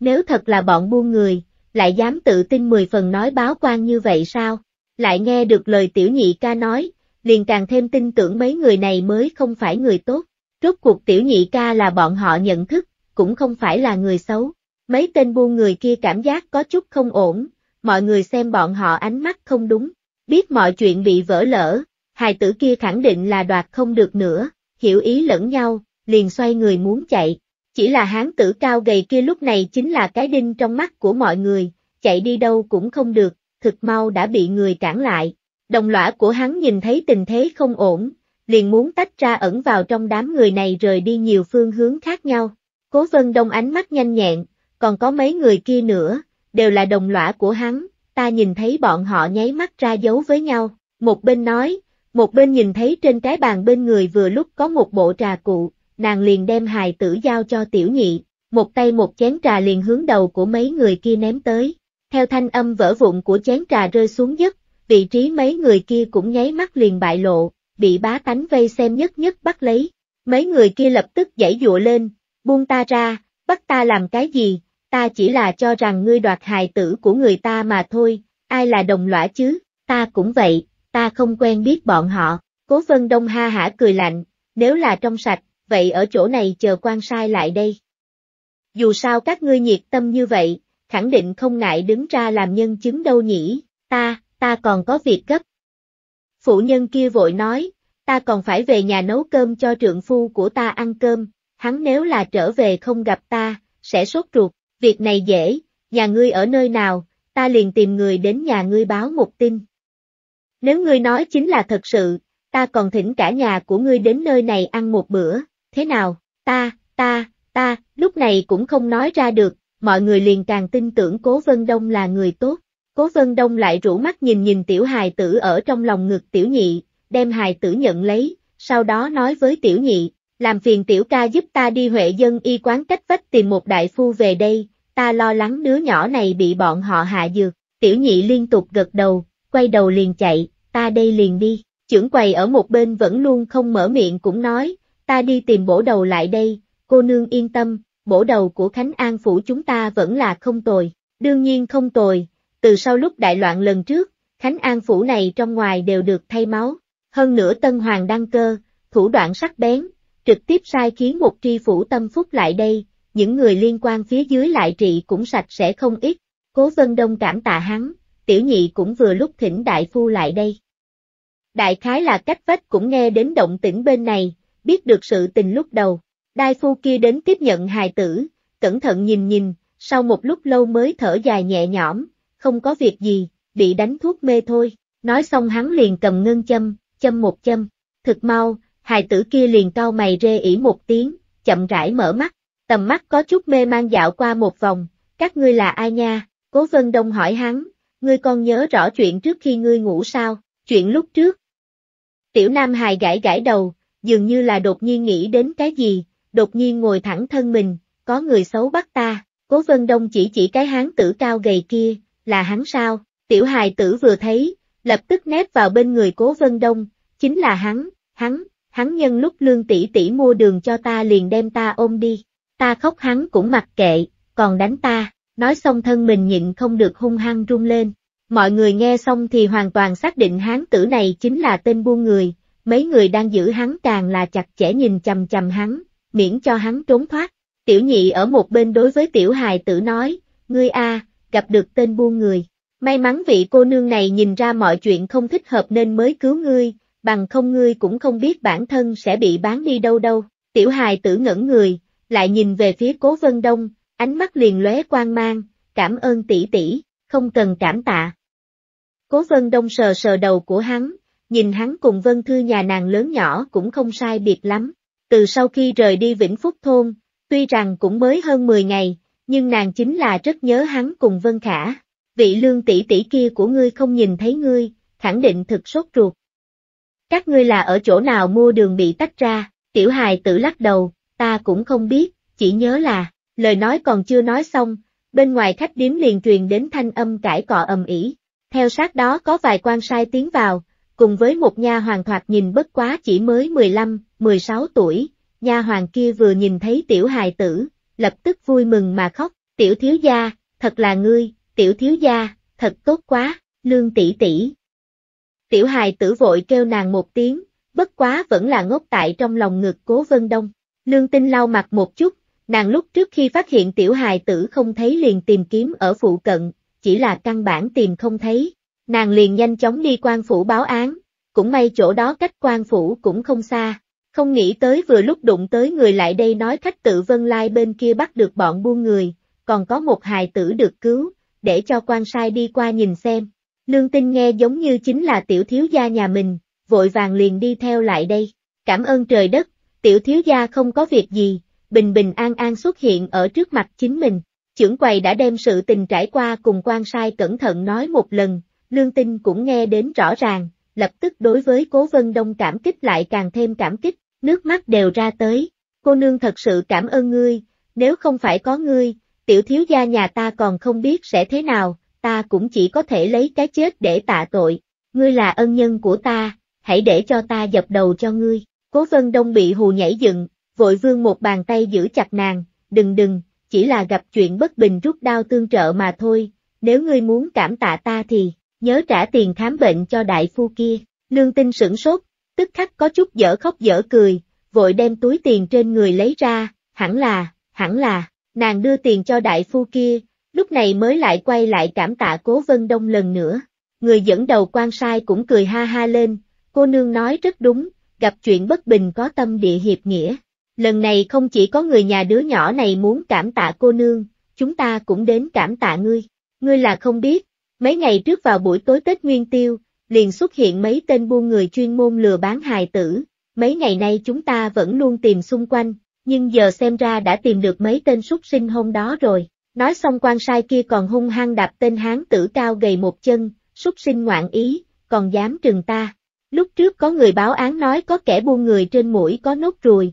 người này chính là ngươi đi. Cùng chúng ta hồi nha môn, ngươi nên khai ra những hài tử khác đang ở nơi nào đi. Nói xong còn đối với Cố Vân Đông nói, cô nương ngươi cũng đi một chuyến chứ. Cố Vân Đông nghĩ đến chính mình còn phải đợi Tống Đại Phu, trên lầu còn có Dương Thị đơn độc ở đó, nàng nơi nào yên tâm đi. Nàng chính là biết đến, ở hiện đại nếu làm nhân chứng để cảnh sát ghi chép lời khai đều phải tốn không ít thời gian, huống chi nơi này, phỏng chừng còn phải đến đến đi đi cãi cãi cọ cọ không yên. Nghĩ nghĩ, nàng đối với quan sai kia nói, thật không phải, ta hiện tại không thể rời đi nơi này. Sự việc vừa rồi đều được tiểu nhị ca này thấy được, ta có thể hay không thỉnh hắn đi thay ta một chuyến, có cái gì chi tiết yêu cầu hiểu biết các ngươi đều có thể hỏi hắn. Ta ở lại khách điếm này, nếu là thật sự cần thiết yêu cầu ta hiệp trợ, ta sẵn sàng đi qua. Quan sai kia xem nàng một bộ dáng khó xử, nghĩ nghĩ thấy đây cũng không phải vấn đề gì lớn, liền gật đầu, được. Ngay sau đó liền mang theo mấy tên buôn người đi,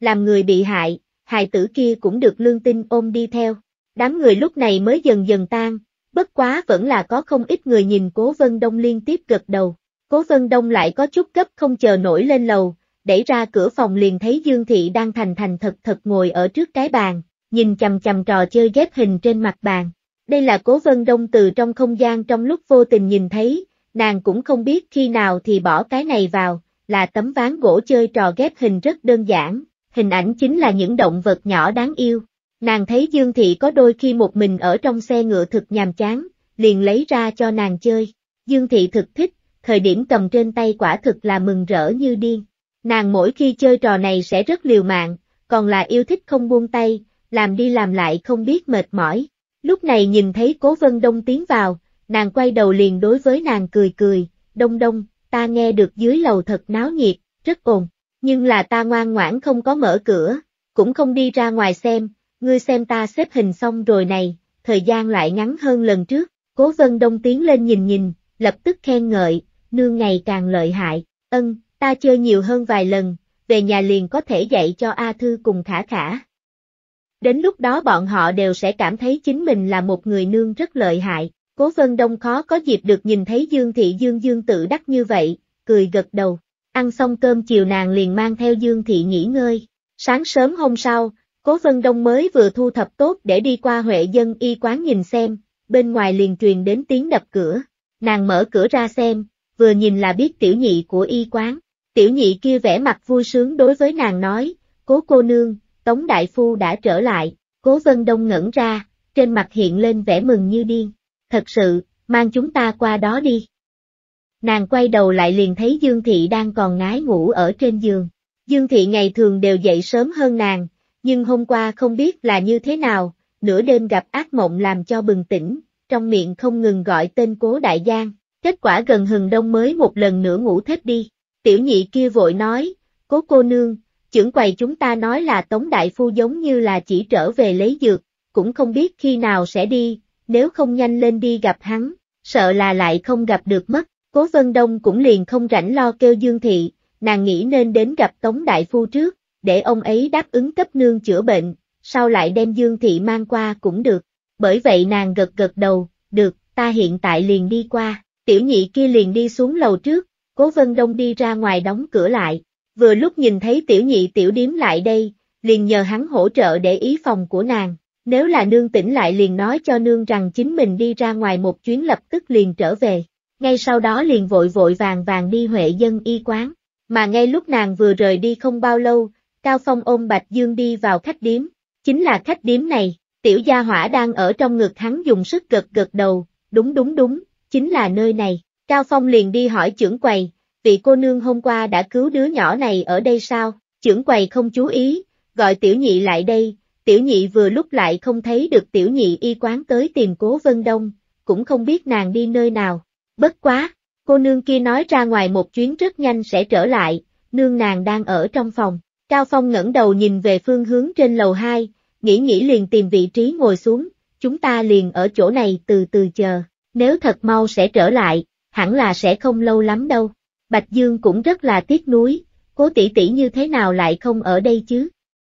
Ta ngày hôm qua đã rất sợ hãi, cũng không có hảo hảo cảm tạ được nàng. Cao Phong rủ mát, hơi thở lãnh túc vừa rồi hơi hơi thu lại, thần thái nhu hòa sờ sờ đầu hắn, không có việc gì, một hồi nữa nhìn thấy nàng lại cảm ơn cho thật tốt cũng không muộn. Một lớn một nhỏ ngồi gần nhau, một bên nói chuyện một bên chờ Cố Vân Đông trở về, mà lúc này Cố Vân Đông đang theo tàu trưởng quầy đi hậu viện. Tống Đại Phu đang ở dược phòng hậu viện tìm dược liệu, bây giờ ta sẽ đi vào hỏi giúp ngươi một chút, ngươi ở bên ngoài chờ đi, tốt xấu gì cũng đã thu của người ta một túi đường trắng, tào trưởng quầy vẫn thực thân thiện, cố vân đông gật gật đầu, tới cửa dược phòng liền dừng lại, tào trưởng quầy một mình một người đi vào, liền thấy Tống Đại Phu đang nhìn nhìn dược liệu trong tay mình nhíu mày trầm tư, Tống Đại Phu, bên ngoài có vị cô nương từ tuyên hòa phủ ngàn dặm xa xôi lại đây tìm người, muốn nhờ người giúp mẫu thân của nàng xem bệnh, Tống Đức Giang buông đầu xuống, phản phất như không thấy được tào trưởng quầy,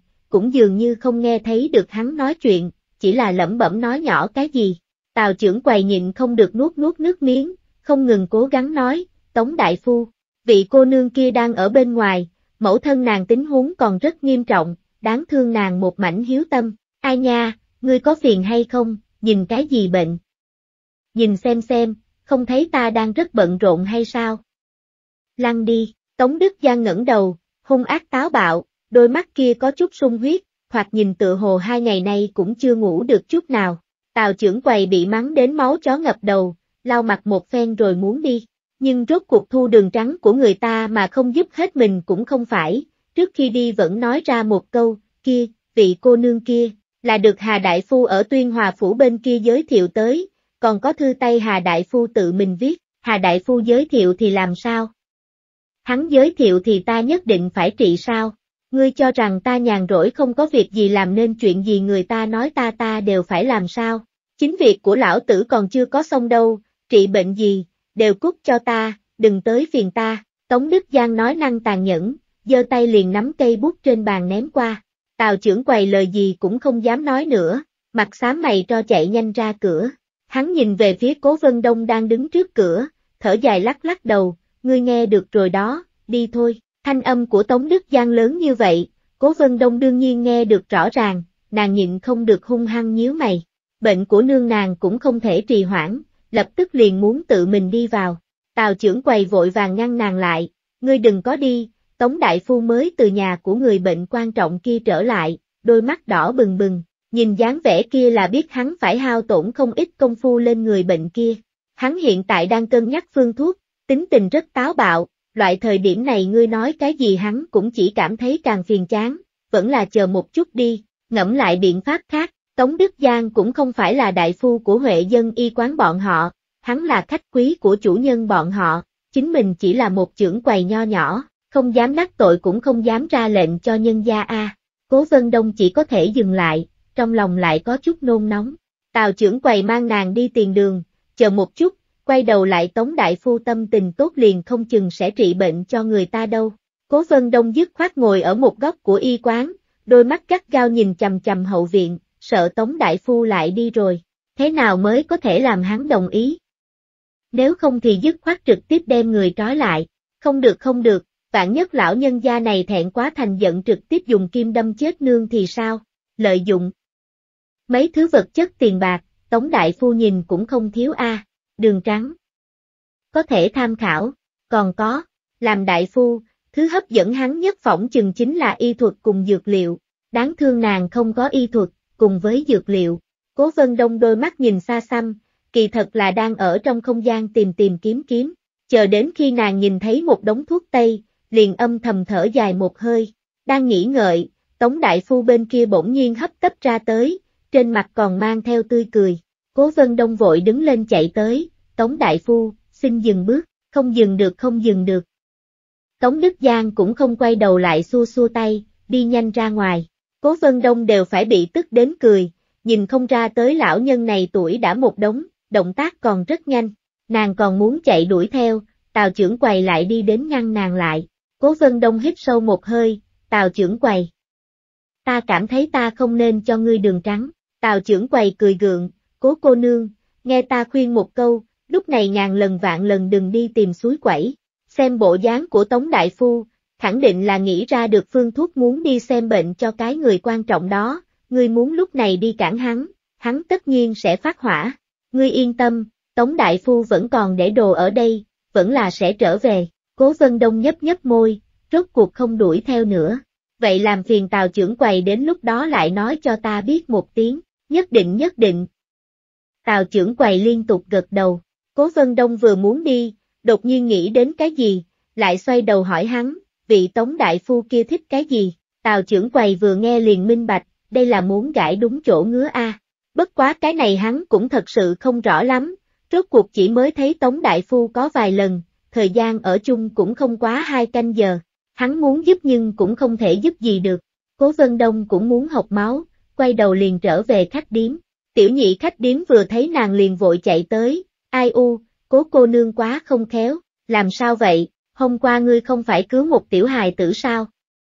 Hôm nay hắn mang theo một cái thúc thúc lại đây tìm ngươi nói là muốn cảm ơn ngươi, tại đại đường này ngồi một hồi lâu, mới vừa đi, một cái thúc thúc. Cố Vân Đông lập tức nghĩ tới vị cao thúc thúc kia, nhìn ra được tới, đó là người ngoài lạnh trong nóng. Lần trước nhìn thấy hắn khi đối diện với tiểu hài tử liền lập tức trở nên ôn nhu, hắn sẽ tới cửa cảm tạ một chút đều không kỳ quái. Cố Vân Đông liền đối với tiểu nhị nói, lần sau nếu bọn họ lại đến, ngươi nói hắn không cần khách khí như vậy, chuyện nhỏ không tốn sức gì mà thôi, được rồi, Cố Vân Đông lúc này mới lên lầu, mang theo Dương Thị đi ăn cơm, mà lúc này Cao Phong, đang ở trên một chiếc xe ngựa cách khách điếm đó không xa, nhìn Tống Đức Giang đang sốt màn xe, vội tiến lên hỏi, chính là có phương thuốc, Tống Đức Giang liên tục gật đầu, cười ha ha, từ trong lòng ngực lấy ra một cái túi, ta thật là bị lá che mắt, đang ở trong đó ngược lại chui rút vào sừng trâu. Nếu không phải vừa lúc ở trong dược phòng nhìn thấy cái này,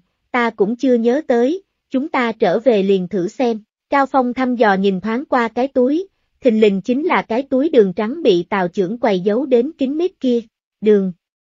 Này có thể trị bệnh sao? Tống Đức Giang gật gật đầu, kỳ thật không nhất định phải dùng đường trắng, nhưng vật nhỏ này cho ta ý tưởng, làm ta mở được nút thắt, hơn nữa đường trắng như mây này rất khó có được, nên cấp bạch tiểu tử dùng cái này, mới xứng với nó. Cao Phong khóe miệng trừ trừ, bất quá vẫn là thực kích động, vậy chúng ta nhanh chóng trở về, về, về.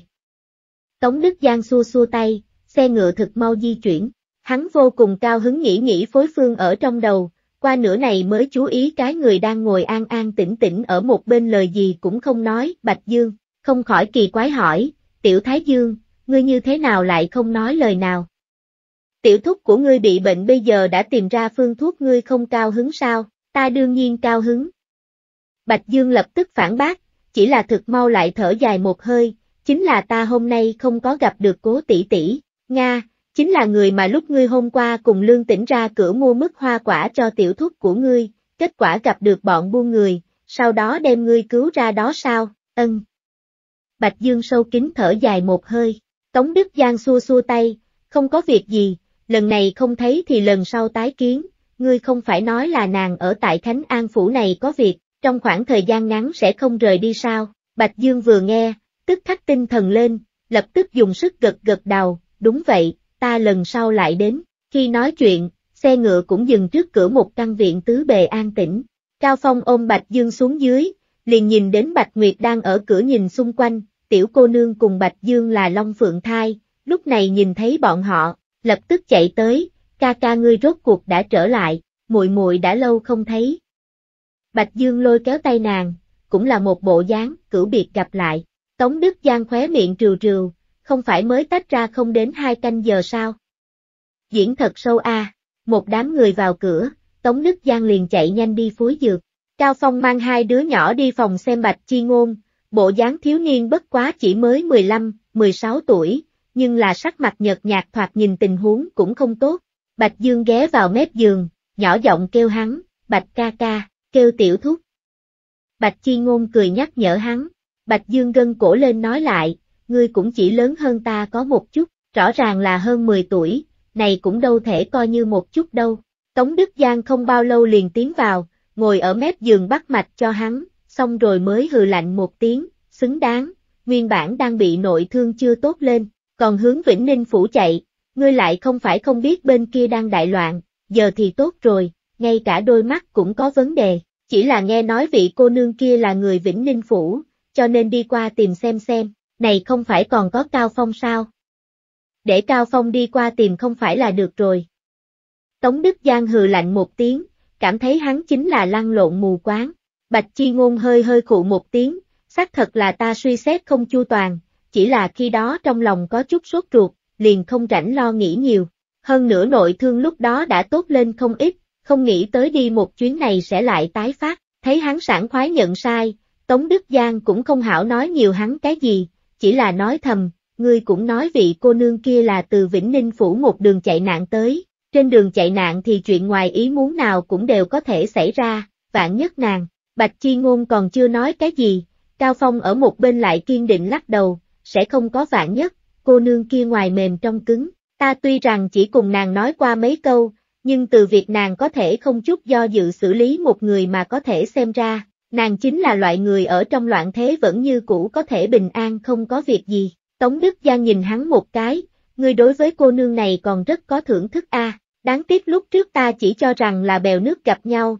về sau sẽ không có giao thoa, cho nên không hỏi họ tên lại lịch của nàng, nếu là hiểu biết nhiều một ít, có lẽ là có thể sớm ngày tìm được nàng. Bạch Chi Ngôn lắc đầu, chạy nạn trên đường, giao thiển ngôn thâm là tối kỵ, nàng cũng sẽ không nói tình hình thực tế cho ngươi biết, nếu không có việc ngoài ý muốn gì mà nói, cô nương kia hơn phân nữa là sẽ đến Khánh An Phủ này. Đáng tiếc Khánh An Phủ đại loạn, hướng đi của nàng liền khó nói, Tống Đức Giang thấy hai người đều lắc đầu, hai cái tiểu nhân ở bên cạnh cũng sâu kín thở dài, không khỏi trừ trừ khóe miên, nhỏ giọng hỏi, vậy các ngươi có hay không nghĩ tới, có lẽ đồ vật kia có hay không ở trên người cô nương ấy, đương nhiên nghĩ tới, nhưng, ít nhất trước mắt nàng là manh mối duy nhất của chúng ta, vật đó, chỉ có thể tiếp tục tìm. Tống Đức Giang lại đi ra ngoài, hắn bắt đầu điều phối dược liệu. Muốn tìm được người, tổng phải có cái thân thể khỏe mạnh đã, mà Cố Vân Đông ở bên kia, lại ở tại khách điểm đợi thêm hai ngày. Ngay vào thời điểm nàng sắp chờ đến không kiển nhẫn nữa, cửa phòng liền có tiếng gõ cửa. Cố Vân Đông đang ngồi ở bên cửa sổ nhìn chầm chầm dưới lầu, nàng cơ hồ là cả một ngày trời đều là ngồi ở chỗ này quan sát phía dưới, cũng là vừa thực khéo, cửa sổ nhìn xuống phía dưới của các nàng, vừa lúc là hậu viện của Huệ dân y quán. Tào trưởng quầy nói Tống Đại Phu trở về, sẽ tiến vào hậu viện, cho nên nàng nghĩ dù sao cũng là ôm cây đợi thỏ, liền dứt khoát ở đây nhìn chầm chầm đi, như vậy Tống Đại Phu khi trở về nàng cũng sẽ biết trước tiên. Thời điểm cửa phòng vang lên tiếng gõ cửa, vẫn là Dương Thị dừng trò chơi ghép hình trước mắt, nhìn về phía cố Vân Đông, Đông Đông, có phải hay không muốn ăn cơm, nương người cứ chơi tiếp đi, ta đi xem. Cố Vân Đông hai ngày nay không có việc gì làm, có chút lười, động tác hơi chút chần chờ chậm chạp, tiếng đập cửa liền đột nhiên lớn lên. Nàng thậm chí còn nghe được một đạo thanh âm thô thanh thô khí, ngươi không phải nói người ở trong phòng không ra ngoài sao, ngay sau đó là thanh âm của tiểu nhị, là không ra cửa, lúc trước còn phân phó tiểu nhân lát đưa cơm chiều bưng lên lầu nữa mà, ngay sau đó lại nhỏ giọng hướng bên trong kêu, cố cô nương, cố phu nhân, các ngươi còn ở trong đó sao, đến rồi, thúc giục cái gì?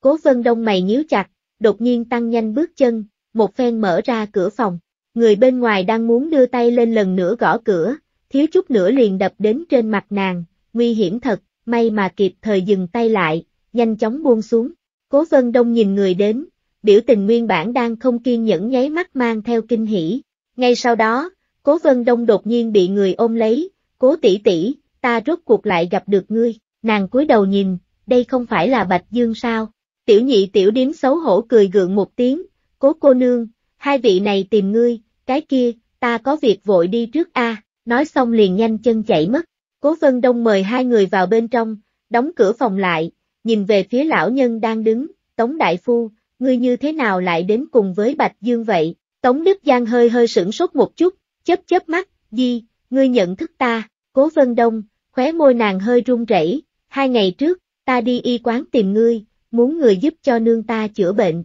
Lúc ấy tào trưởng quầy tìm ngươi có phải hay không nói qua có hai mẹ con ngàn dặm xa xôi không ngại cực khổ từ tuyên hòa phủ lại đây, là Hà Đại Phu giới thiệu, Tống Đức Giang, ngọa tào, lúc ấy người bị hắn mắng đến máu chó ngập đầu chính là nàng. Xong rồi xong rồi xong rồi, Tiểu Thái Dương còn nói đây là ân nhân cứu mạng của hắn. Tống Đức Giang nội tâm sóng to gió lớn, trên mặt không hề gợn sóng, thậm chí hơi hơi nhíu nhíu mày, trầm tư nói, có chuyện này sao?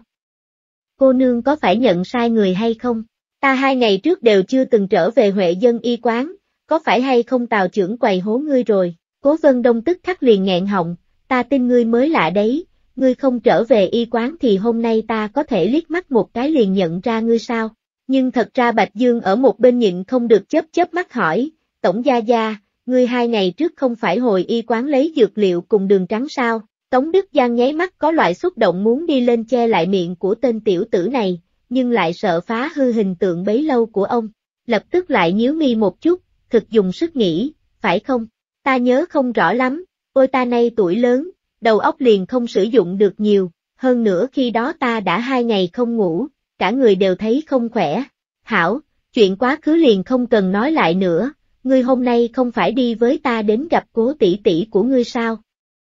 Ngươi đã gặp được, ta liền đi về trước. Cố Vân Đông cảm giác chính mình gặp được một tên nhân cách phân liệt, nhìn Tống Đức Giang lúc này mà xem, nghĩ lại Tống Đại Phu tính tình táo bạo dễ giận của hai ngày trước, quả thật là như hai người khác nhau. Nhưng Bạch Dương thực mau bị hắn dời đi tầm mắt, lập tức phất phất tay, tốt, Tống Gia Gia ngươi về trước đi, tái kiến, mắt thấy Tống Đức Giang phải đi, Cố Vân Đông vội lên tiếng, Tống Đại Phu, xin dừng bước, ta thật không nhớ rõ sự tình hai ngày trước, không thể trách ta.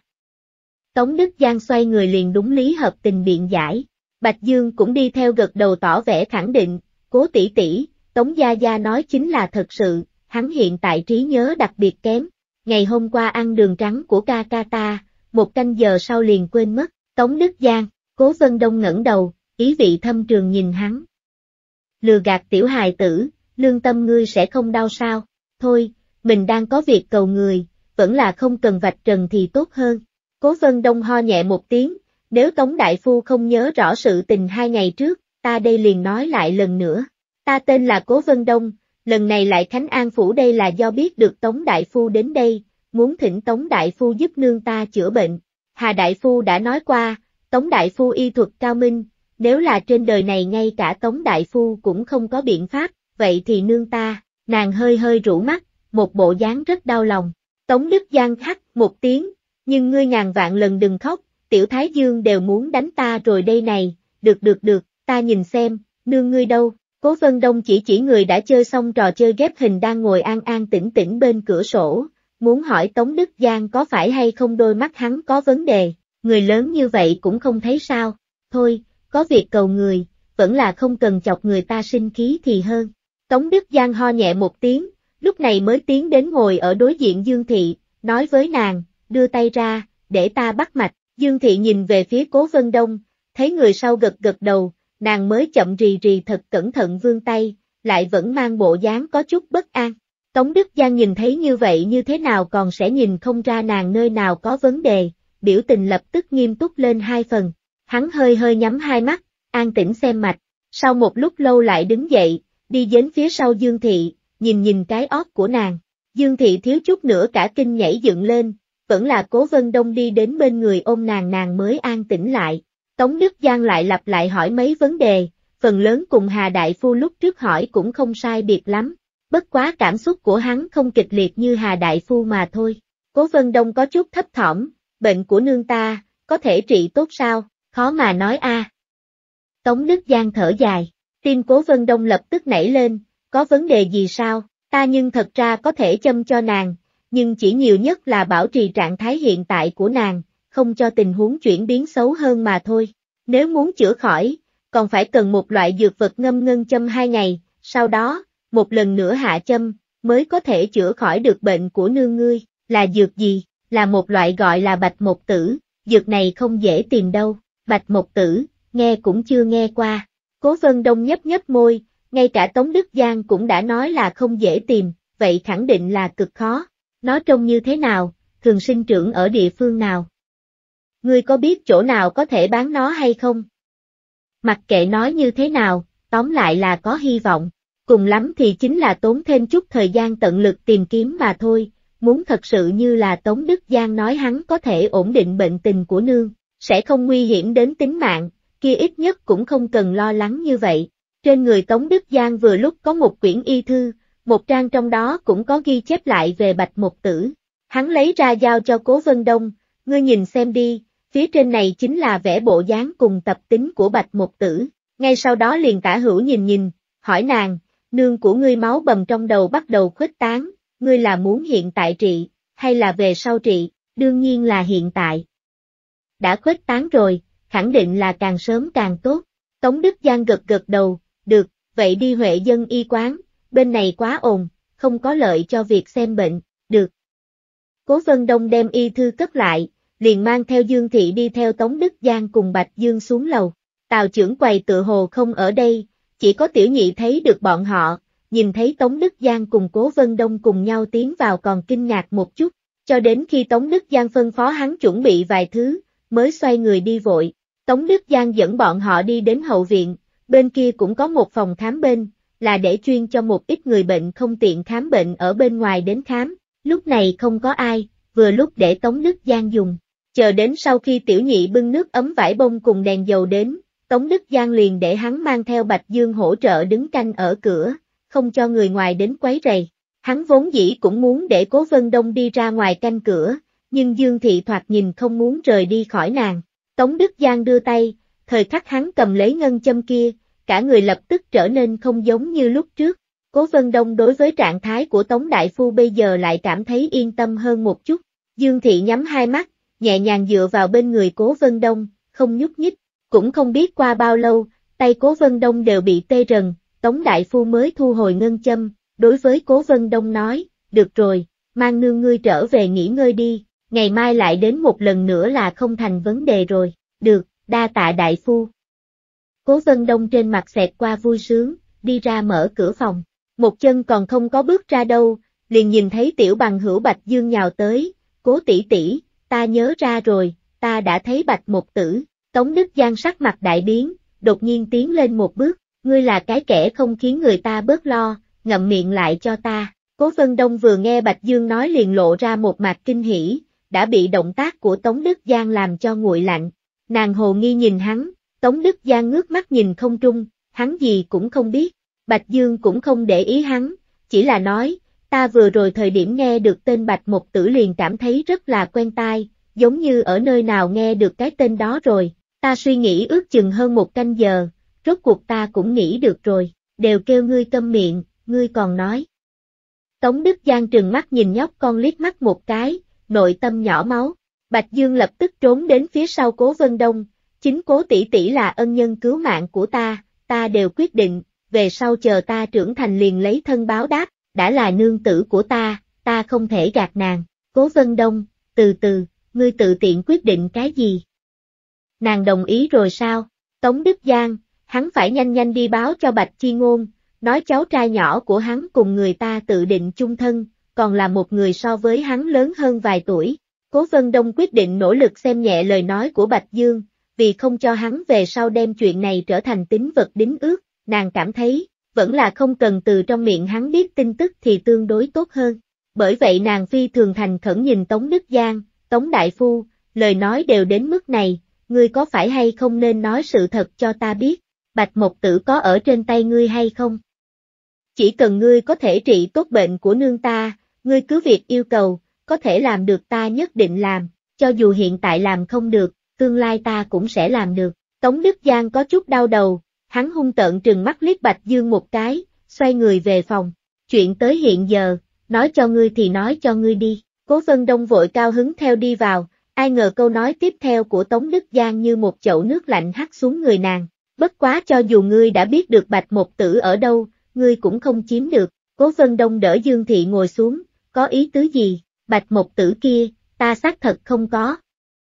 Bất quá ở chỗ của sư phụ ta xác thật có hai cây, Cố Vân Đông kinh ngạc, ngươi còn có sư phụ, Tống Đại Phu đôi mắt trừng nàng, ngươi hỏi cái gì vậy, ta không có sư phụ vậy thì một thân y thuật này từ đâu ra chứ, ta cho rằng Tống Đại Phu y thuật cao minh như vậy, có thể là thiên phú tuyệt hảo tự học thành tài, kỳ thật sâu trong nội tâm của Cố Vân Đông cảm thấy, Tống Đại Phu này đã một bó tuổi như vậy, sư phụ của ông ta có khả năng đã qua đời lâu rồi. Tống Đức Giang bị một câu vỗ mông ngựa này của nàng vỗ đến cả người thoải mái, đang muốn khiêm tốn hai câu, liền nghe được Bạch Dương nói, sư phụ của Tống Gia Gia là Thái Gia Gia của ta, bất quá tuổi tác của Thái Gia Gia so với Tống Gia Gia còn nhỏ hơn kìa. Cố Vân Đông yên lặng ngậm miệng lại, Tống Đức Giang quả thực muốn đem tiểu tử thúi này ném ra ngoài, trước kia còn cảm thấy hắn đáng yêu, hiện tại phát hiện chính là một tên tỷ tỷ nô, chuyên môn đi phá hủy hình tượng của hắn, trọng sắc khinh bạn, nhảy tranh hư thật sự, Tống Đức Giang có chút thẹn quá hóa giận nhìn về Cố Vân Đông đang nỗ lực nhịn cười, cho nên ngươi rốt cuộc có nghĩ muốn bạch một tử hay không, muốn. Cố Vân Đông vội ngồi nghiêm chỉnh, ngay sau đó lại nhăn nhăn mày, nhưng ngươi không phải là nói ta cũng muốn cũng không được sao, vì cái gì, là bởi vì lệnh sư không dễ nói chuyện, Tống Đức Giang liếc xéo nàng một cái, sư phụ ta người này xác thật rất khó nói chuyện, tính tình cổ cổ quái quái không nói nhân tính, bạch một tử này lại hiếm thấy, muốn hắn lấy ra khẳng định không đơn giản như vậy. Bất quá, hắn liếc liếc nhìn Bạch Dương một cái, hắn đối với con cháu rất tốt, ngươi cứu tôn tử duy nhất của hắn, có lẽ Bạch một tử hắn vẫn sẽ cho ngươi, vậy vì sao? Tống Đức Giang thở dài một hơi, bởi vì Bạch một tử kia ở nhà kho, không chỉ là Bạch một tử, tất cả dược liệu mà sư phụ quý như Trân Bảo đều ở bên trong. Tiếc núi chính là, chìa khóa của nhà kho, bị mất rồi, cố vân đông, nàng chần chờ hỏi, không thể tìm người, cậy ra sao? Tống Đức Giang cười lạnh, chìa khóa kia cũng không phải là chìa khóa bình thường, đừng nói cậy ra, một khi không cẩn thận thì khóa mắt đều sẽ bị hủy hoại, vậy, dùng đá hay đao kiếm đập vỡ cửa không được sao? Tống Đức Giang biểu tình cổ quái, không thể đập, vậy thì dùng tạc thế nào? Tống Đức Giang nổi giận, đột nhiên đứng lên chỉ vào nàng mắng to, tạc tạc tạc, ngươi người này như thế nào lại bạo lực hung ác không nhẫn nại như vậy, ngươi biết cánh cửa kia làm bằng gì sao? Lúc thì muốn đập lúc lại muốn tạc, cố vân đông chớp chớp mắt, vẻ mặt mộng bức, hiện tại hung ác không nhẫn nại, không phải là ngươi sao? Không biết, không phải cửa gỗ sao, đó là cửa bằng ngọc thạch, cánh cửa làm bằng một khối ngọc thạch phi thường phi thường hoàng mỹ, một chút hư hao đều có thể muốn mạng già của sư phụ ta đấy có biết hay không? Ngươi chỉ vì một gốc cây bạch một tử, cư nhiên muốn hủy diệt ngọc thạch môn của lão tổ tông bạch gia truyền lại, lương tâm của ngươi đều bị chó ăn rồi, hừ, Tống Đức Giang chửi ầm lên, làm Dương Thị sợ tới mức muốn cầm cái ấm trà bên cạnh đập vào đầu hắn, nhưng là Đông Đông đã nói qua, đối phương không động thủ, chính mình cũng không thể động thủ, cái này gọi là địch bất động ta bất động, nhưng là nàng vẫn là yên lặng đem ấm trà nắm chặt trong tay. Cố Vân Đông cũng có chút kinh ngạc, cả một cánh cửa to đều dùng ngọc thạch để làm, Bạch gia này, thật là có tiền a. Bạch Dương tiến đến bên tai nàng nhỏ giọng nói thầm, cánh cửa kia không lớn đâu, cao thúc thúc của ta đi vào đều phải cong eo một chút, bất quá Tống Gia Gia không cần, nhưng nhà kho bên trong rất lớn. Tống Đức Giang bắt lấy cổ áo hắn liền muốn ném hắn ra bên ngoài. Cố Vân Đông chạy nhanh ngăn cản, được rồi được rồi, Tống Đại Phu, ta còn chưa có tính toán vì bạch một tử mà phá hoại ngọc thạch môn của sư phụ ngươi, ngươi bình tĩnh đi, bằng không trong chốc lát máu dâng lên não trí nhớ càng lúc càng kém ngay cả chính mình gọi là gì cũng đã quên thì không xong. Tống Đức Giang thật muốn phun máu vào mặt nàng, nữ hoa này như thế nào làm cho người ta ghét như vậy chứ? Cố Vân Đông quyết định vẫn là không cần lại ký ý hắn, lập tức dời đi đề tài, bất quá nếu chiếu theo lời ngươi nói như vậy, chẳng lẽ phiến môn kia về sau đều không thể mở ra được, dược liệu bên trong không lấy ra dùng, chẳng phải đều sẽ trở thành phế thải sao? này không phải vấn đề nằm ở chỗ chìa khóa bị mất sao. Tống Đức Giang gãi gãi đầu, bộ dáng cũng thực buồn rầu, bao lâu có thể tìm ra, không biết, bất quá đã có manh mối, hẳn là nhanh.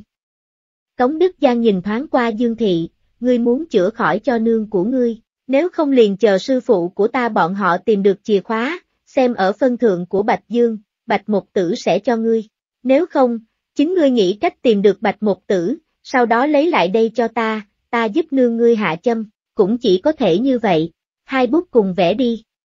Nàng sẽ tìm người hỗ trợ tìm kiếm dược liệu, cũng may tình huống Dương Thị chuyển biến tốt đẹp, nàng có thể chờ nổi. Được rồi, ngươi đi đi, cùng ngươi nói chuyện mệt chết ta, liền chưa thấy qua người như ngươi vậy.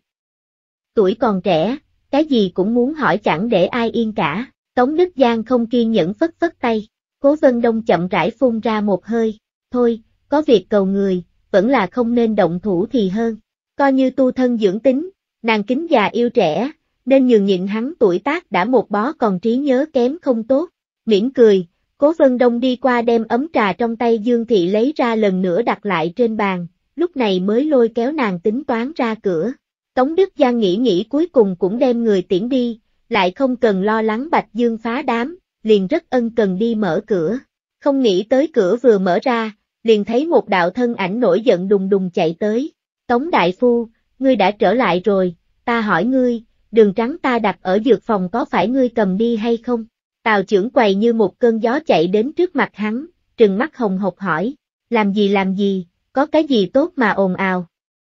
Tống Đức Giang so với hắn còn muốn đúng lý hợp tình hơn, chủ nhân các ngươi có phải nói là dược bên trong dược phòng có thể tùy ý ta dùng không phải sao? Ngươi nếu đã đặt ở nơi đó, ta như thế nào liền không thể cầm, không thể bắt ngươi nhưng thật ra không cần phóng kia a, thật là, kêu kêu quát quát, một chút cũng đều không hiểu kính già yêu trẻ, làm trò trước mặt mấy đứa nhỏ liền dám trống hắn, không lễ phép. Tào trưởng quầy tức khắc nói không ra lời, theo sau nhìn đến cố vân đông phía sau hắn, càng là ủy khuất đến không được. Cố vân đông kinh ngạc trừng mắt nhìn, lúc trước thời điểm nghe Bạch Dương nói đến đường trắng, còn tưởng rằng nhà bọn họ mua dùng, nguyên lai là từ bên chỗ tàu trưởng quầy lấy đi a. Cố vân đông tức khắc có chút dở khóc dở cười, mắt thấy Tống Đức Giang thở phì phì hướng bên trong đi rồi, khi nàng mang theo Dương Thị đi ngang qua tàu trưởng quầy, vẫn là nói một câu, lát nữa lại đưa cho ngươi. Tàu trưởng quầy ánh mắt sáng lên, hắn thề lần sau sẽ không đem đường trắng đặt ở dược phòng.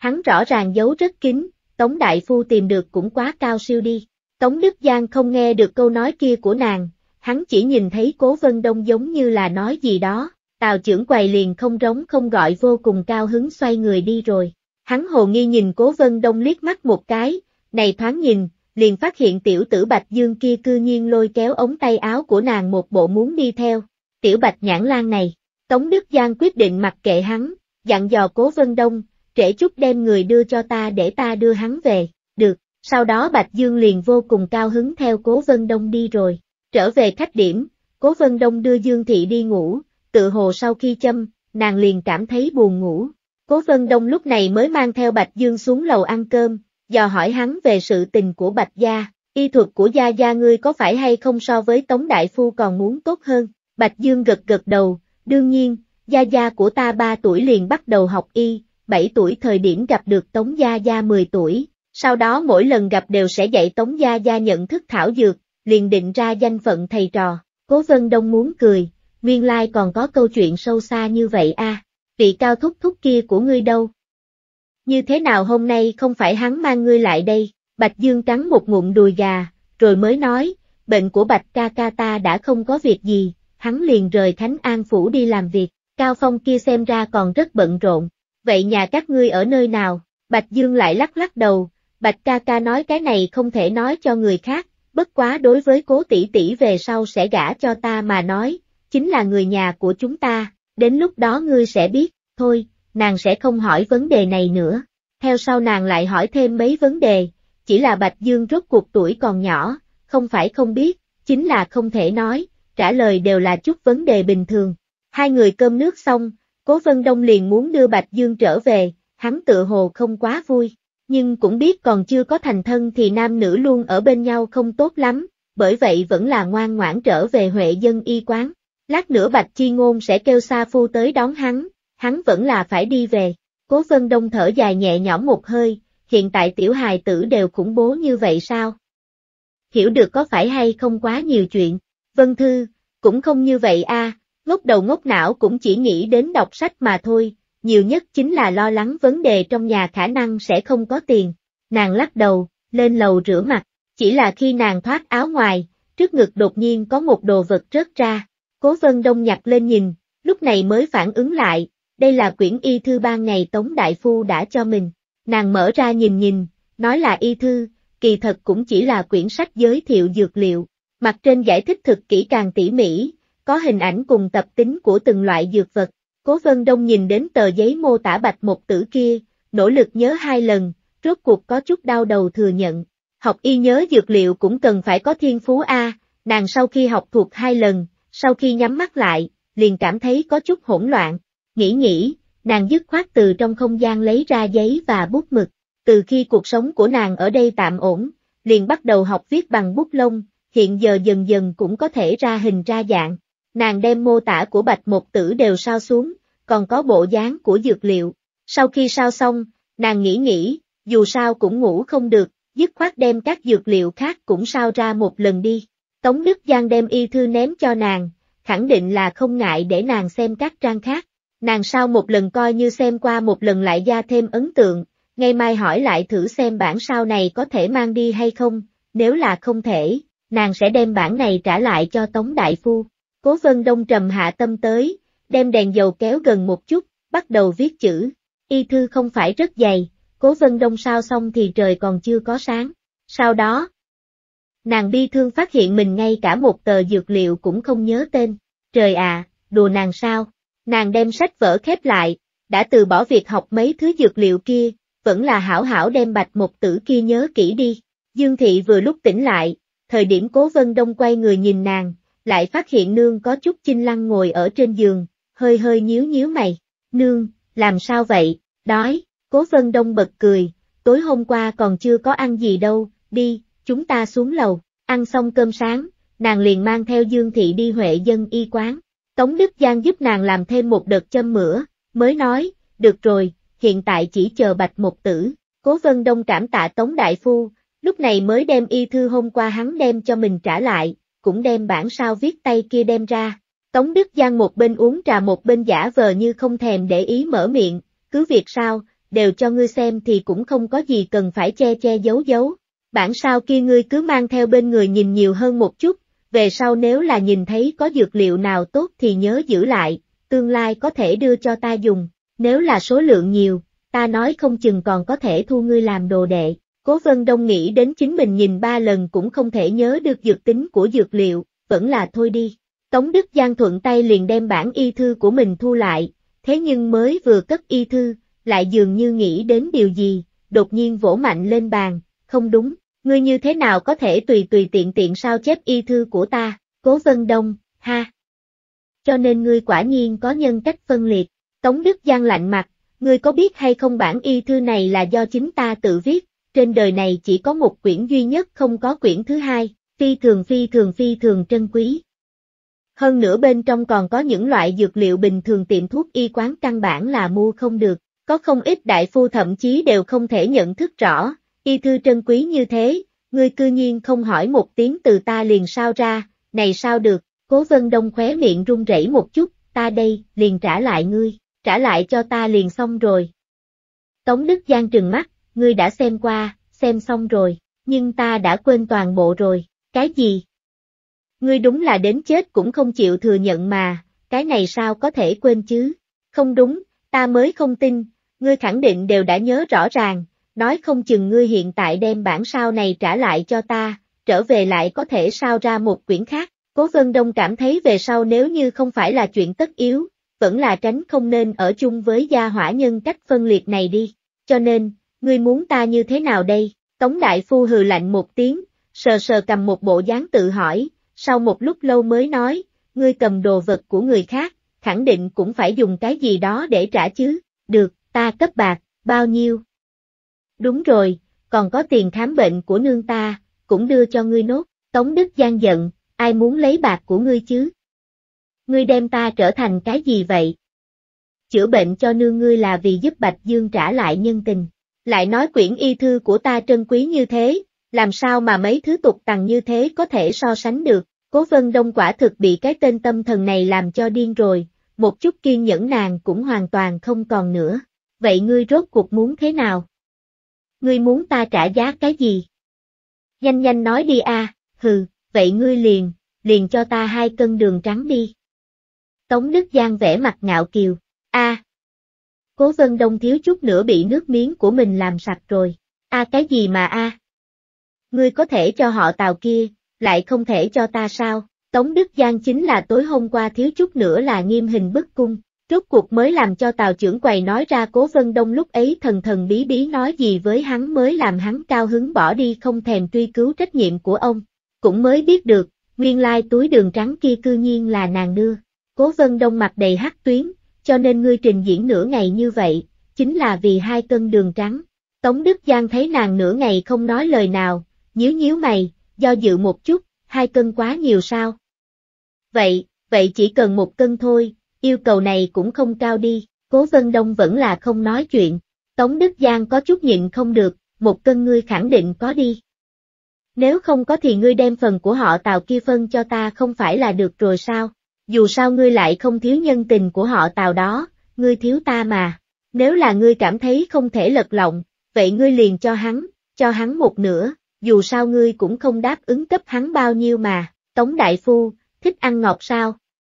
Cố Vân Đông suy nghĩ nửa ngày, rốt cuộc hỏi ra câu này, Tống Đức Giang không thừa nhận, ta không có, Cố Vân Đông nhướng mày, cũng không đào sâu thêm chuyện này, được rồi, ta cho ngươi là được. Tống Đại Phu trước tiên ở đây chờ ta một lát, giúp ta chiếu cố nương một chút, ta thực mau sẽ trở về. Tốt, không thành vấn đề. Cố Vân Đông đi khách điếm một chuyến, đến khi đi ra khỏi phòng, trong tay cầm theo một cái túi có chút nặng. Tống Đức Giang đang ở trong phòng đi tới đi lui, nghe được tiếng bước chân liền vội tiến lên mở cửa. Cố Vân Đông đem cái túi đặt ở trên bàn, trên tay khác còn đang cầm một cái chén. Tống Đức Giang ngẩn người, đồ vật gì vậy, ngươi mở ra nhìn xem. Tống Đức Giang tổng cảm thấy có tạc, nhưng vẫn là không chế không được tính tò mò rụt rịch của mình, đem cái túi mở ra. Sau đó, đồng tử của hắn đột nhiên co rụt lại, lông tơ trên người phản phất đều dựng đứng lên. Đường, đường, đường, đường. Hắn vừa rồi căn bản không bao giờ nghĩ đến cái này,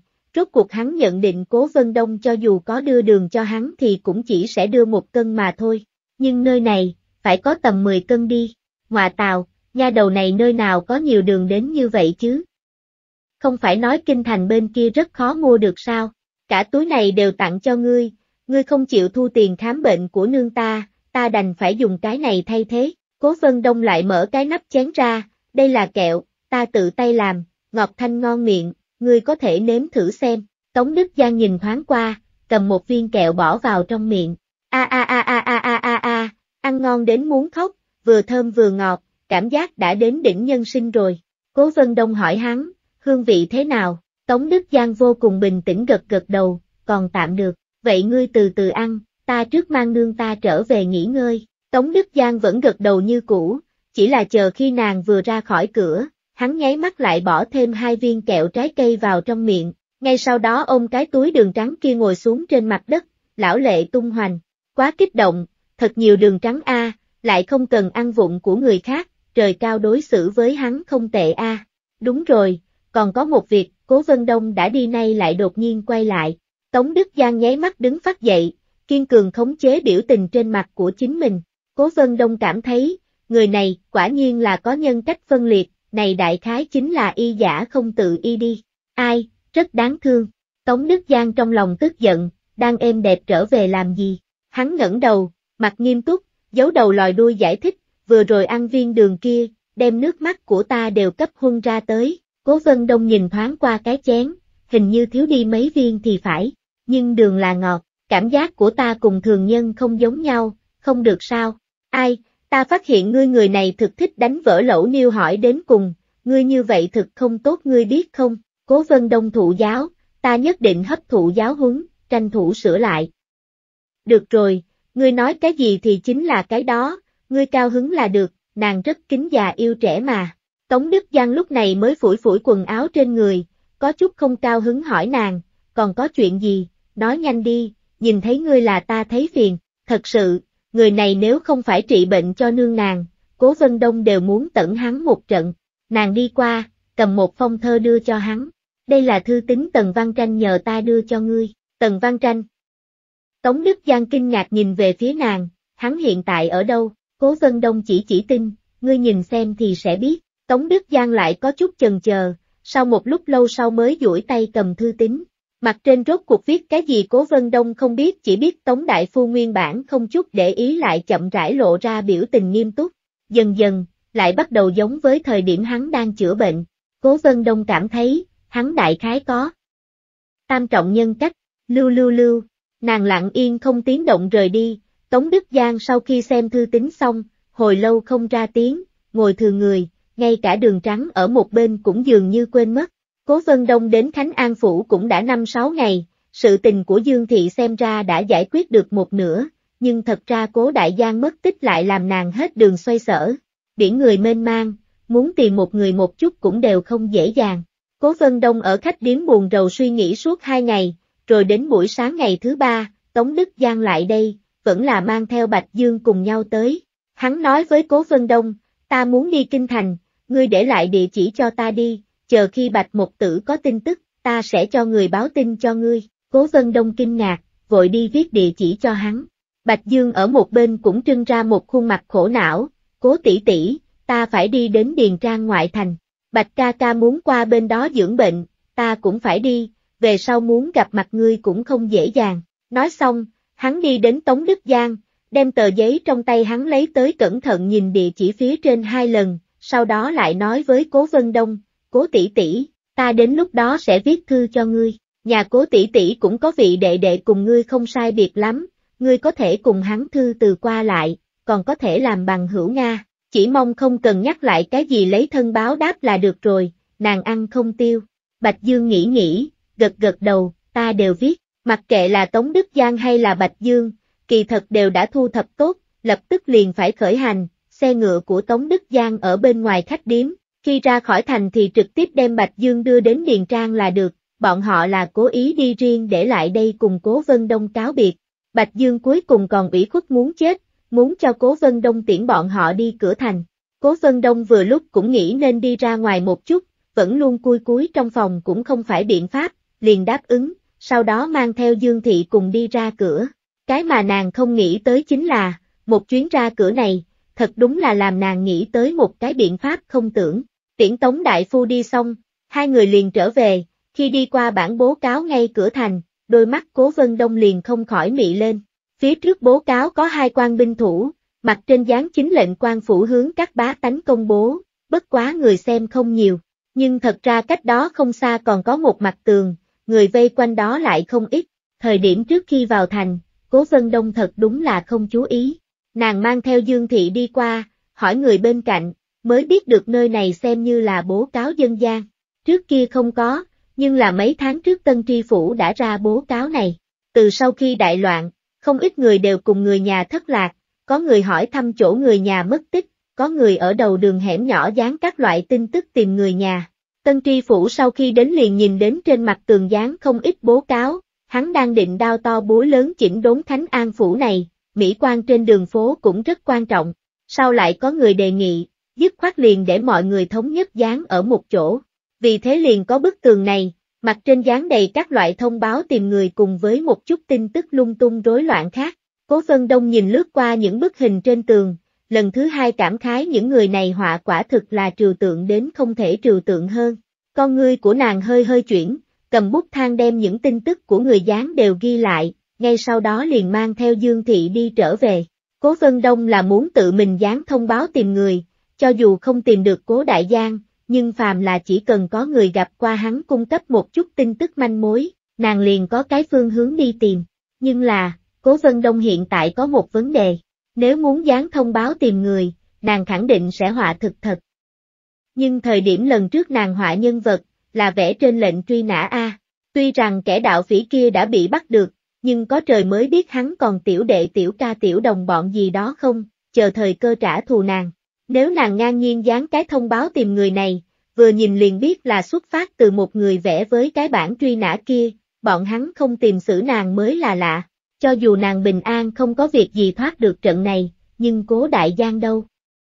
Có phải sẽ trở thành mục tiêu của bọn chúng không? Cho nên thông báo tìm người kiểu này, không thể chỉ có mình bức họa của cố đại giang làm đuốt được, quá khả nghi. Sau khi trở lại khách điếm, cố Vân Đông liền đem tin tức thu thập được sắp xếp lại, đặc biệt là địa chỉ của mấy nhà thất lạc người thân. Chờ sau khi sắp xếp xong, nàng mới quay đầu lại nói với Dương Thị, Nương, ngày mai chúng ta đi thuê một cái nhà nhỏ, muốn tìm cha cũng không biết cần bao nhiêu thời gian, cứ luôn ở tại khách điếm cũng không tiện. Lúc trước lựa chọn ở khách điểm, là bởi vì nơi này gần Huệ dân y quán, tiện cho Dương Thị đến xem đại phu. Dương Thị đang chơi trò chơi ghép hình, cái trò chơi ghép hình này là chính Cố Vân Đông làm. Rốt cuộc trước kia tuy rằng cũng là trò chơi ghép hình, nhưng cho dù là hình ảnh hay là chất liệu, chung quy cũng không giống với thời đại này. Nàng liền nói với Dương Thị là sẽ làm một cái khó hơn cái này một chút, vì thế nàng đi tìm một tấm ván gỗ hơi mỏng, ở mặt trên vẽ hai tiểu hài tử, chính là Vân Thư cùng Vân Khả, sau đó cắt thành thật nhiều khối. Dương Thị thích đến không chịu được, nàng mỗi lần chơi xong trò chơi, là có thể nhìn thấy hai đứa nhỏ, cơ hồ chơi tới mất ăn mất ngủ. Lúc này nghe được Cố Vân Đông nói, liền ngẩng đầu lên, cười nói, hảo a.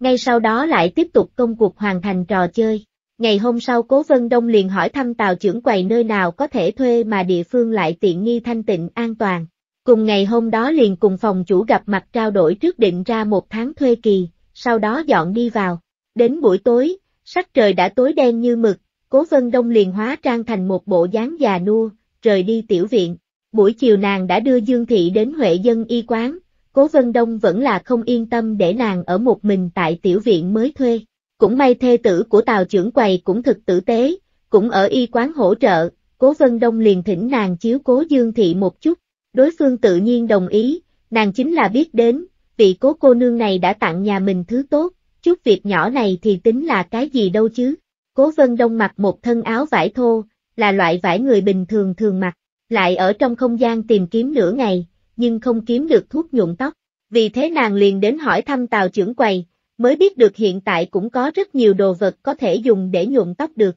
Cố Vân Đông liền tìm cái cớ nhờ tàu trưởng quầy hỗ trợ điều chế ra hai loại thuốc nhuộm tóc, một cái màu đen một cái màu trắng. Hiện giờ nàng đã đem hơn phân nửa đầu tóc của mình nhuộm sang màu trắng, lại đem ngực bó lại. Tuy rằng nàng chưa phát dục hoàn toàn, nhưng tốt xấu gì cũng có chút phập phồng đúng không? Lại hóa trang trên mặt một chút, quay người lại, chính là một lão nhân dáng người thấp bé. Cố Vân Đông nhìn nhìn mình trong gương, khẳng định không xuất hiện chi tiết bất thường nào, lúc này mới ra cửa. Dựa theo địa chỉ đã chỉnh đốn lúc trước, Cố Vân Đông trước tìm được một nhà thợ rèn phô. Cửa hàng nhà này là do hai huynh đệ mở, nghe nói hai người còn một đệ đệ mất tích trong thời điểm đại loạn, hai huynh đệ liền tìm người vẽ đại khái một bức họa, đem dán lên mặt tường kia tìm người. Chỉ là thời gian trôi qua lâu rồi, người cũng không tìm thấy, bố cáo kia đều đã giải nắng dầm mưa chỉ còn lại có nửa trương giấy, may mà phía trên còn để lại được địa chỉ. Thời điểm cố vân đông gù lưng đi vào,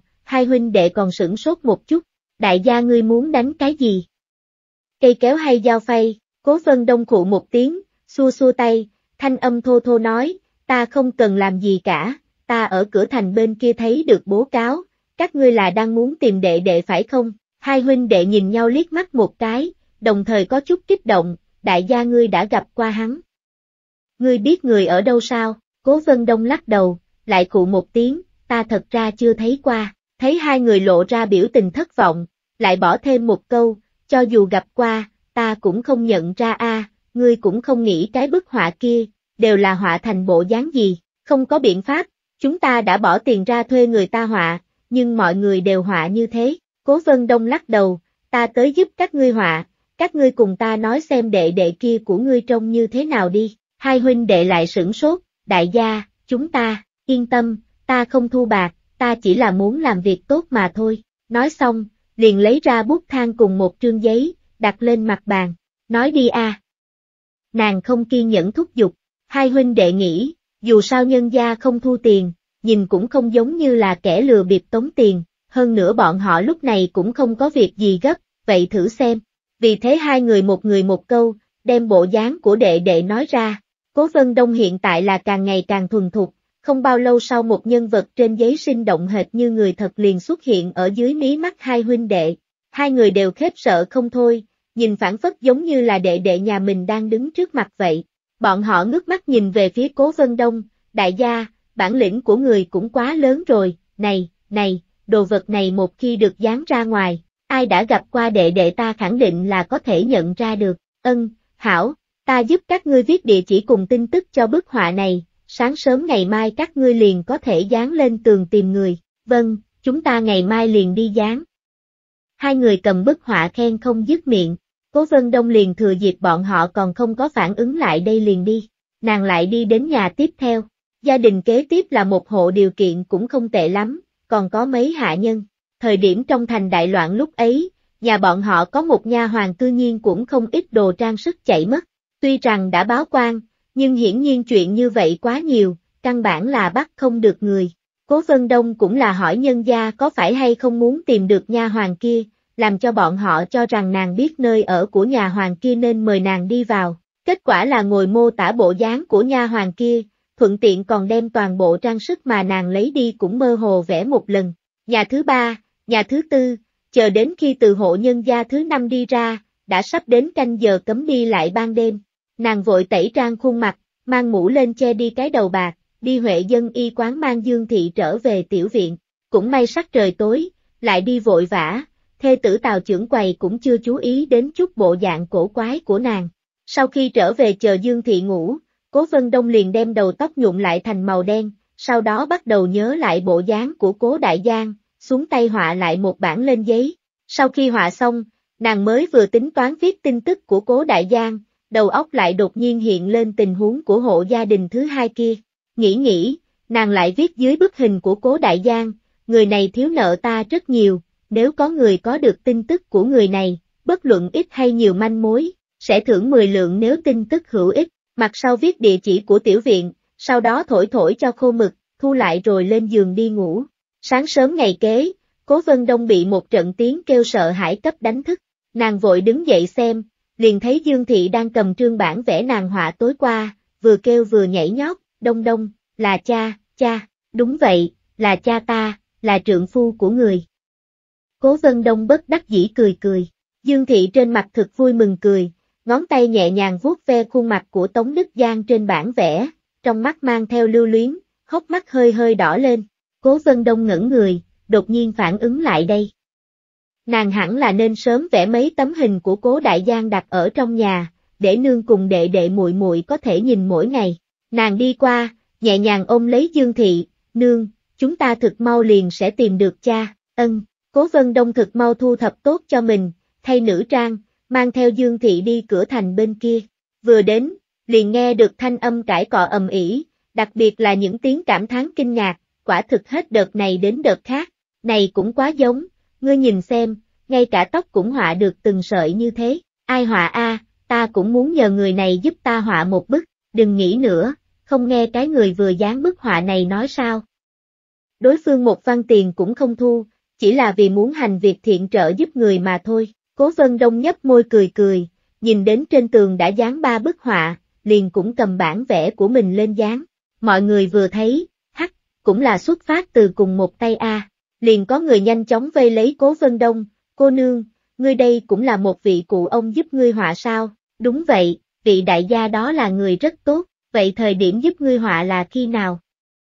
Ngươi thấy rõ ràng hắn như thế nào họa sao? Cô nương, ngươi có học được chút nào hay không a? Cố Vân Đông khóe miệng run rẩy một chút, nhìn về phía nam tử có bộ dáng thư sinh vừa mới hỏi câu đó xong, trong mắt nam tử này tràn đầy khát vọng, phản phất chỉ cần nàng nói là có học được một chút, là có thể lập tức xin nàng chỉ giáo vậy. Cố Vân Đông quyết đoán lắc đầu, ta sao lại học được thứ này chứ, mắt thấy lại có một người lại đây dán bức họa tìm người, Cố Vân Đông vội thừa dịp mọi người lơi lỏng, mang theo Dương Thị đi ra khỏi đám người. Dương Thị đều thở ra một hơi, quay đầu lại nhìn nhìn bức họa dán ở trên tường, bộ dáng thực hưng phấn. Nhưng mà, chờ đến khi hai người về đến nhà, Cố Vân Đông mới vừa mở ra cửa chính, thân mình đột nhiên cứng đờ. Trong nhà có người. Cố Vân Đông bước chân dừng một chút, cao mày lôi kéo Dương Thị hướng bên cạnh đi. Như thế nào sẽ đến nhanh như vậy? Vừa mới nghĩ, trong phòng liền có người bước ra, là một nam tử mặc trang phục sai nha. Vẫn là người Cố Vân Đông nhận thức, chính là cái vị đại ca dẫn đầu quan sai đến lúc nàng ở khách điếm cứu được Bạch Dương. Vị quan sai kia đứng ở cửa nhà chính, đối với nàng đưa mắt ra hiệu, để nàng trước tiên đem viện môn đóng lại. Cố Vân Đông đối với hắn ấn tượng cũng không tệ lắm, ngày đó mấy kẻ buôn người kia bị bắt đi không bao lâu sau, nghe nói đã bức cung tra ra được chỗ ở của mấy hài tử bị bắt cóc trong đêm Tết Nguyên Tiêu. Cũng là vận khí tốt, bọn họ vốn dĩ tính toán bắt cóc Bạch Dương liền đi rồi, không nghĩ tới sẽ bị Cố Vân Đông chạm vào vừa vặn, liền thật bị bắt. Sau đó quan phủ bên kia còn cấp Cố Vân Đông bạc, nói là người nhà của mấy hài tử đưa tới. Bởi vậy lúc này khi bắt gặp bộ dáng thần thần bí bí của vị quan sai này, nàng tuy rằng khó hiểu nhưng vẫn đem viện môn đóng lại, ngay sau đó mang theo Dương Thị đi vào nhà chính. Quan sai này họ Lý, khi các nàng tiến vào mới nói, xin lỗi, không xin phép đã tự vào dọa đến các ngươi, chỉ là sợ rút dây động rừng, không thể không làm như vậy,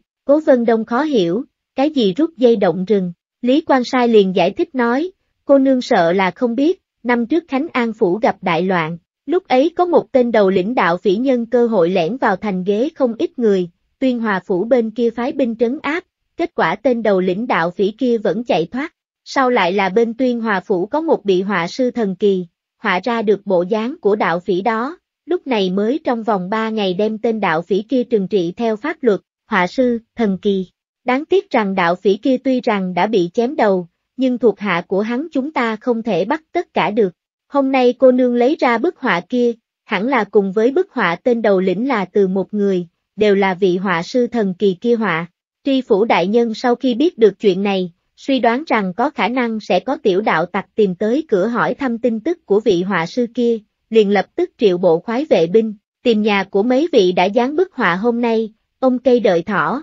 bắt ba ba trong rọ, cố vân đông nhịn không được hơi hơi trừng lớn mắt, Tân Hoàng rốt cuộc từ nơi nào mà tìm được vị tri phủ tân nhiệm thông minh như thế này vậy, ngay cả chuyện này cũng nghĩ tới. Kỳ thật Cố Vân Đông cũng suy đoán tiểu đạo tặc sẽ tới cửa hỏi thăm họa sư, cho nên nàng còn viết thư nặc danh phân tích tình huống, tính toán một lát liền đưa đi nha môn, hơn nữa liền đưa đến tay vị quan sai họ lý trước mắt này. Nàng thậm chí nghĩ tới nếu là nha môn không bỏ chuyện này trong lòng thì làm sao bây giờ. Bởi vậy buổi tối hôm qua đi mấy nhà đều là đã chọn lựa kỹ càng rồi, tỉ như hai huynh đệ thợ rèn thân hình cao lớn không dễ chọc, tỉ như hộ gia đình giàu có trong nhà có nhiều gia nhân, tỉ như gia đình ở tại phụ cận nha môn trong nhà có nhiều nam nhân. Tiểu đạo tặc giống nhau đều sẽ không vui lòng mà tìm tới mấy gia đình mình không nắm chắc còn có khả năng sẽ bại lộ, như vậy cuối cùng chỉ có thể từ giữa đó chọn lựa chỗ yếu nhất lại không có căn cơ gì, chính là hai mẹ con nhà nàng. Nàng là tính toán đêm nay đưa Dương Thị đến Tào Gia ở một đêm,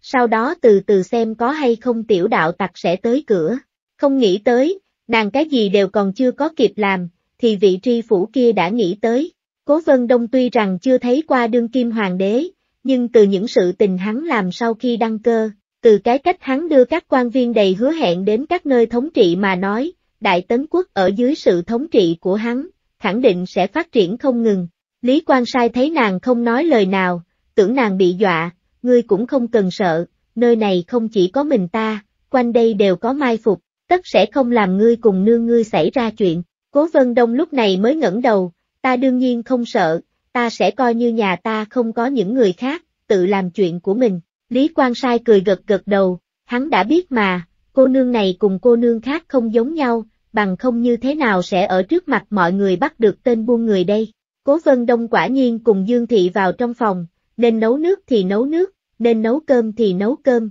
nên nói chuyện thì nói chuyện. Lý Quang Sai cũng thực tự giác, đi một nội gian khác, cũng không ra ngoài. Mãi cho đến buổi tối, hắn mới dặn dò hai mẹ con cố Vân Đông ở trong phòng không cần ra khỏi cửa, hắn đã lập sẵn trận địa sẵn sàng đón quân địch. Tiểu đạo tặc sở dĩ gọi là tiểu đạo tặc, chính là bởi vì không thể nào thông minh, cho nên quậy tới quậy lui cũng chỉ làm tiểu đạo tặc không lên được đại tặc. Vì thế khi trời vừa mới tối, bốn tên tiểu tặc liền không phụ sự mong đợi của mọi người lần mò vào sân, còn có một người ở bên ngoài trong chừng. Nhưng mà chỉ trong chớp mắt, một tả một hữu liền nhào đến bắt lấy kẻ trong chừng kia, kẻ đó ngay cả thanh âm cũng chưa phát ra được đã bị bắt lấy. Theo sát đó, quan sai ngoài cửa cũng nhanh chóng phá cửa vọt đi vào. Bốn người kia còn đang ở nhà chính cậy cửa, chỉ chớp mắt đã bị làm vằn thắng. Cửa nhà chính cũng từ bên trong mở ra, Lý Quang Sai cười lạnh nhìn bọn họ, rốt cuộc cũng chờ được các ngươi, cái gì, có ý tứ gì?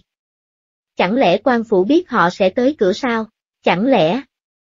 Đây là bẫy rập của quan phủ, chính là vì dẫn dụ bọn họ ra, mẹ nó, mấy cái tiểu đạo tặc xoay người liền muốn chạy, nhưng quan sai nhân số vốn dĩ đã đông hơn bọn họ, còn có phòng bị mà đến, nơi nào để bọn họ chạy thoát, chỉ là đạo tặc lại không giống với kẻ trộm, tàn nhẫn xác thật tàn nhẫn, rút ra chủy thủ liền cùng mấy quan sai chém chém ghế ghế, có cánh tay của một quan sai bị chém một đao, nhưng rốt cuộc mấy tên tiểu tặc vẫn bị bọn họ bắt được, một đám bị trói tay che miệng lại trực tiếp kéo đi, còn chuyện kế tiếp, liền xem bản lĩnh của vị tri phủ kia, có lẽ sẽ thả con tép bắt con tôm, để một lướt bắt hết số còn sót lại. Cố Vân Đông đẩy ra một góc cửa sổ, đem quá trình quan sát rõ ràng. Lý Quang Sai là người cuối cùng đi, hắn hướng tới phiến cửa sổ kia nhìn thoáng qua, hôm nay quấy rầy cố cô nương, cáo từ, cố Vân Đông phất phất tay, nhìn mọi người rời đi, mới buông cửa sổ xuống. Ngày thứ hai nàng lại đi hỏi thăm một chút, quả nhiên như chính mình sở liệu,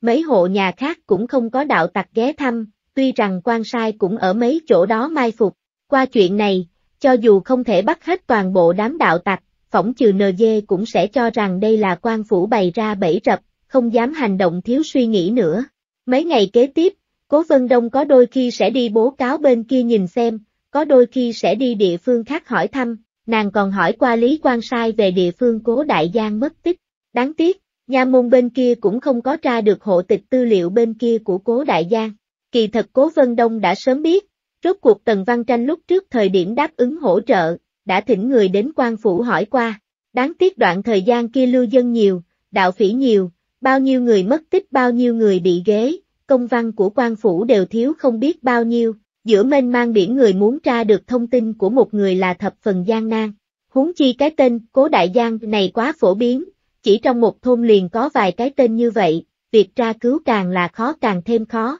Hiện giờ Khánh An phủ trăm phế đại hưng, từ tri phủ đến tạp dịch, đều vội đến chân không chạm đất, ai có công phu tiêu phí một bó lớn thời gian để giúp ngươi đi tìm một người không biết sống hay chết, cũng không biết được có ở Khánh An phủ hay không đây. Quan phủ tra không đến, Cố Vân Đông mới nghĩ đến việc tìm trong dân gian, dán thông báo tìm người. Cũng may, bức họa giống người thật như đúc khiến cho rất nhiều người chú ý thảo luận.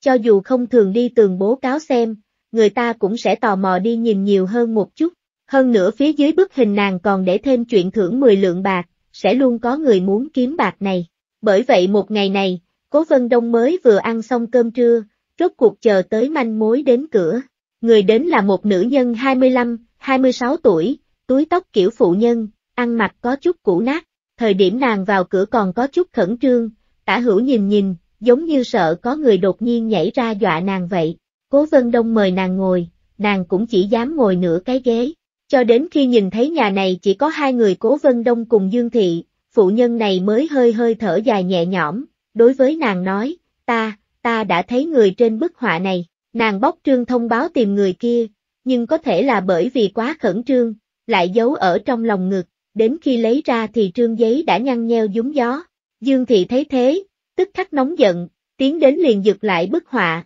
đặt ở trên bàn dùng sức vuốt thẳng. Phụ nhân kia bị động tác này của nàng làm cho hoảng sợ, đột nhiên đứng lên, làm, làm gì? Cố Vân Đông vội nói, tẩu tử đừng khẩn trương, nương ta chỉ là nhìn thấy bức họa tốt như vậy lại không phản phiêu thì có chút đau lòng thôi, không có việc gì. Ngươi vừa rồi nói, ngươi đã gặp qua người trên bức họa này, ở nơi nào nhìn thấy, nàng tận lực ôn hòa, giờ phút này trong lòng đã thập phần cấp bách. Phụ nhân nghe vậy mới một lần nữa ngồi xuống, cắn cắn môi, nhỏ giọng hỏi nàng, ngươi, ngươi nói sẽ có 10 lượng bạc cho ta phải không, kia, phải xem chuyện ngươi nói có phải sự thật hay không đã, đương nhiên là thật sự, phụ nhân vội vàng hứa hẹn, ta thề, những lời ta nói đều là những câu thật, được, ngươi nói đi, phụ nhân kia liền nhẹ thở ra một hơi, nói, người này, người này gọi là cố đại giang đi, cố vân đông nhịn không được ánh mắt sáng lên, đúng vậy, ta đã thấy, khoảng thời gian Khánh An phủ đại loạn, tuyên hòa phủ có quan binh tới bên này tuần tra lùng bắt đám thổ phỉ,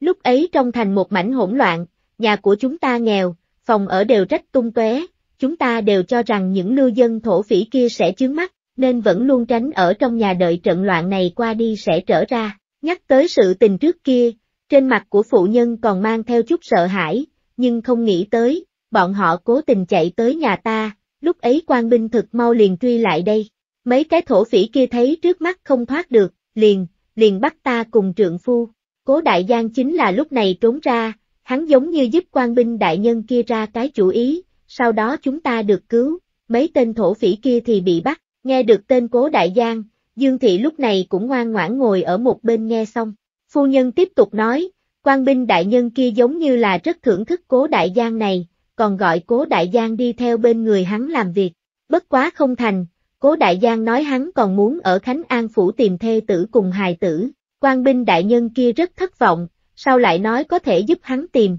đợi khi tìm được là có thể đáp ứng giúp hắn làm việc. Phụ nhân lúc ấy còn rất hâm mộ, cố đại giang kia lúc ấy ăn mặc rất tàn tạ, trừ bỏ khuôn mặt còn chỉnh tề sạch sẽ, toàn thân đều có mùi thúi, vừa thấy chính là từ Vĩnh Ninh Phủ bên kia chạy nạn trở thành lưu dân, quan binh đại nhân kia một chút cũng đều không ngại hắn. Vấn đề là, cố đại giang này cư nhiên còn cự tuyệt loại cơ hội thăng chức rất nhanh này. Phụ nhân đối với lưu dân là phi thường không có hảo cảm, cho dù cố đại giang xem như đã cứu mạng phu thê bọn họ, nhưng nói cho cùng, nếu không phải do lưu dân, thì Khánh An phủ bọn họ như thế nào sẽ thành đại loạn, bọn họ như thế nào sẽ bị thổ phỉ bắt được, đồ vật trong nhà như thế nào sẽ bị cướp hơn phân nửa, so với ban đầu càng nghèo hơn. quan binh đại nhân sau khi bình ổn rối loạn liền đi rồi.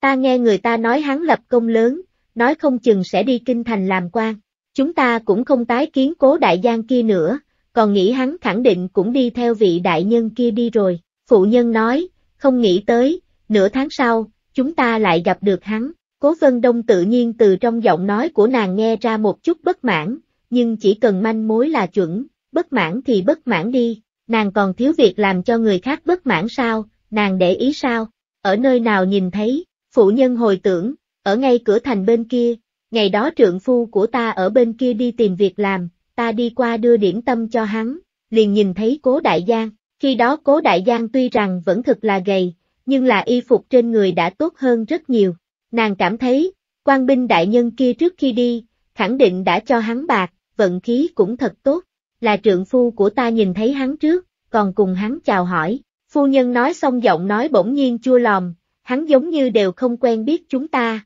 cũng đúng thôi, trong mắt hắn lúc ấy chỉ sợ có vị quan binh đại nhân kia, nào có nhớ rõ tiểu nhân vật như chúng ta chứ, cố vân đông nhíu mày, người này đã không có ngay từ đầu thật cẩn thận, hiện tại là càng nói càng có cảm xúc a. nàng gõ gõ cái bàn, sau đó đâu? Nói trọng điểm, trượng phu của ta là một kẻ ngốc mà, còn tiến lên hỏi nhân gia đã tìm được người nhà hay chưa, phụ nhân thấy nàng không kiên nhẫn, lại có điểm sợ, nhanh chóng nói, kết quả là cố đại giang nói người nhà hắn không ở Khánh An Phủ, muốn đi đến chỗ khác tìm, sau đó liền ra khỏi cửa thành, rời khỏi Khánh An Phủ. Cố Vân Đông là nghĩ tới cái khả năng này, phụ nhân gật đầu, rời đi rồi, ta cùng trượng phu tận mắt nhìn thấy hắn cổng tay nải liền ra khỏi cổng thành, đến giờ vẫn chưa thấy qua, nói xong nàng lại nhích sát lại vài phần, ta lúc trước liền hoài nghi hắn nói muốn tìm thê tử hài tử của hắn là giả, ngươi nói hắn mới tìm nửa tháng như thế nào liền xác nhận bọn họ không có ở Khánh An Phủ, hôm nay nhìn thấy bố cáo này, ta mới suy nghĩ cẩn thận lại đây, hắn đây là thiếu nợ không trả được, cho nên mới chạy trốn, cố Vân Đông lại nghĩ, cố Đại Giang khẳng định là có biện pháp xác nhận của riêng mình, cái kia, cô nương.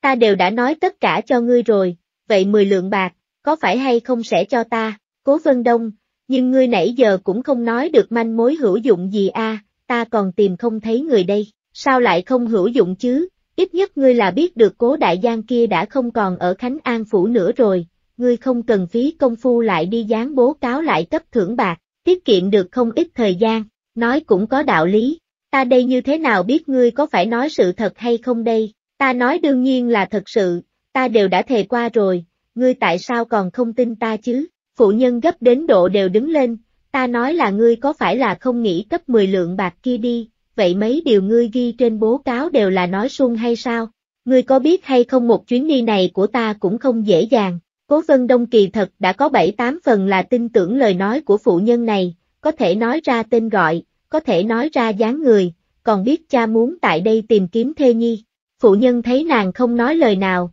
có chút nóng nảy, ngươi rốt cuộc có cho hay không? Ngươi nếu không cấp, ta liền, lời nói của nàng còn chưa dứt, ngoài cửa đột nhiên vang lên một đạo thanh âm tức giận, quân tiểu mai, ngươi có phải ở bên trong hay không, ngươi đi ra cho ta, cố vân đông sửng sốt, liền thấy phụ nhân kia sắc mặt đại biến, cả kinh liền hướng phía bên ngoài nhà chính chạy ra, nhưng chạy được vài bước liền chạy trở lại, làm sao bây giờ làm sao bây giờ, người ngoài cửa có quan hệ gì với ngươi? Cố vân đông hít mắt, hắn là, cung tiểu mai ngươi đừng có trốn, ta biết ngươi chạy đến nơi này, ngươi nhanh chân đi ra đây có nghe hay không? Thanh âm ngoài cửa lần thứ hai vang lên, còn tiếp tục như vậy, hàng xóm xung quanh đều sẽ chạy đến xem náo nhiệt. Cố Vân Đông trực tiếp đi ra ngoài, mở ra đại môn. Nam nhân nhìn thấy người tới mở cửa là một tiểu cô nương mười mấy tuổi, còn hơi sửng sốt một chút. Mời vừa hoài nghi chính mình có phải hay không tìm lầm nhà, liền nhìn đến trong viện phụ nhân đang muốn tìm địa phương đi trốn. Sắc mặt hắn biến đổi, đi nhanh tiến vào, bắt lấy cổ tay phụ nhân liền lạnh lùng nói, ngươi quả nhiên đến đây, ngươi quả nhiên đi bóc bố cáo kia, ngươi còn có lương tâm hay không? Cố Vân Đông yên lặng đem viện môn đóng lại, cản trở hàng xóm bên ngoài đang muốn xem náo nhiệt, chậm rì rì đi vào nhà chính. Dương Thị ngay tại thời điểm có nam nhân tiến vào đã sớm trốn đi. Lúc này trong nhà chính rằng co chỉ có một nam một nữ thoạt nhìn như là một đôi phu thê. Cung tiểu mai đại khái là bị nam nhân nắm cổ tay chặt quá nên đau, có chút tức giận kêu lên, ta như thế nào liền không có lương tâm, ta còn không phải là vì nhà của chúng ta, ngươi cũng không nhìn xem nhà chúng ta đều bị hư hao đến cái dạng nào rồi, kia cũng không thể làm việc trái lương tâm như vậy, nếu không phải cố đại giang, chúng ta đều phải chết, người ta là tới đòi nợ, tìm được cố đại giang chẳng lẽ còn sẽ bỏ qua cho hắn sao, cái gì mà nói không có cố đại giang thì chúng ta đều phải chết. Không có hắn, quan binh cũng sẽ cứu chúng ta, chỉ là sớm một chút muộn một chút mà thôi. Ngươi cũng biết người ta là tới tìm cố đại giang đòi nợ, hắn thiếu nợ không nói mà còn chạy trốn thì hắn căn bản không phải là người tốt, mặc kệ hắn có phải người tốt hay không, ta chỉ thừa nhận là hắn đã cứu mạng của ta. Ta nói cho người Uông Tiểu Mai, ngươi hôm nay nếu dám lấy bạc này, trở về ta liền hưu ngươi. Uông Tiểu Mai nghe xong những lời này liền ngây ngẩn cả người, không thể tưởng tượng nhìn nam nhân, ngươi muốn hưu ta, bao xuân hoa ngươi vì một cái người chỉ mới gặp qua hai lần mà muốn hưu ta. Ta làm sai cái gì sao? Nàng nói xong liền khóc lên, ta cho dù có đến đây báo tin thì thế nào, ta lại không biết cố đại giang kia hiện đang ở đâu, nhiều lắm chính là nói cho bọn họ rằng không cần ở Khánh An Phủ tìm, bên ngoài trời đất bao la, bọn họ tìm đến chết cũng không nhất định có thể tìm được cố đại giang, ngươi liền vì chuyện này mà muốn hưu ta, ngươi mới là người tán tận lương tâm, nàng khóc đến rối tinh rối mù, nam nhân đại khái cũng nhận thấy được chính mình nói chuyện có chút nghiêm trọng, thấy nàng khóc đến thảm thương như vậy liền có chút tay chân luống cuốn, chỉ là vẫn ngạnh cổ nói, ngươi, ngươi có tâm tư như vậy là đã không đúng. Được rồi đừng khóc, ở trong nhà người khác khóc lóc còn ra thể thống gì.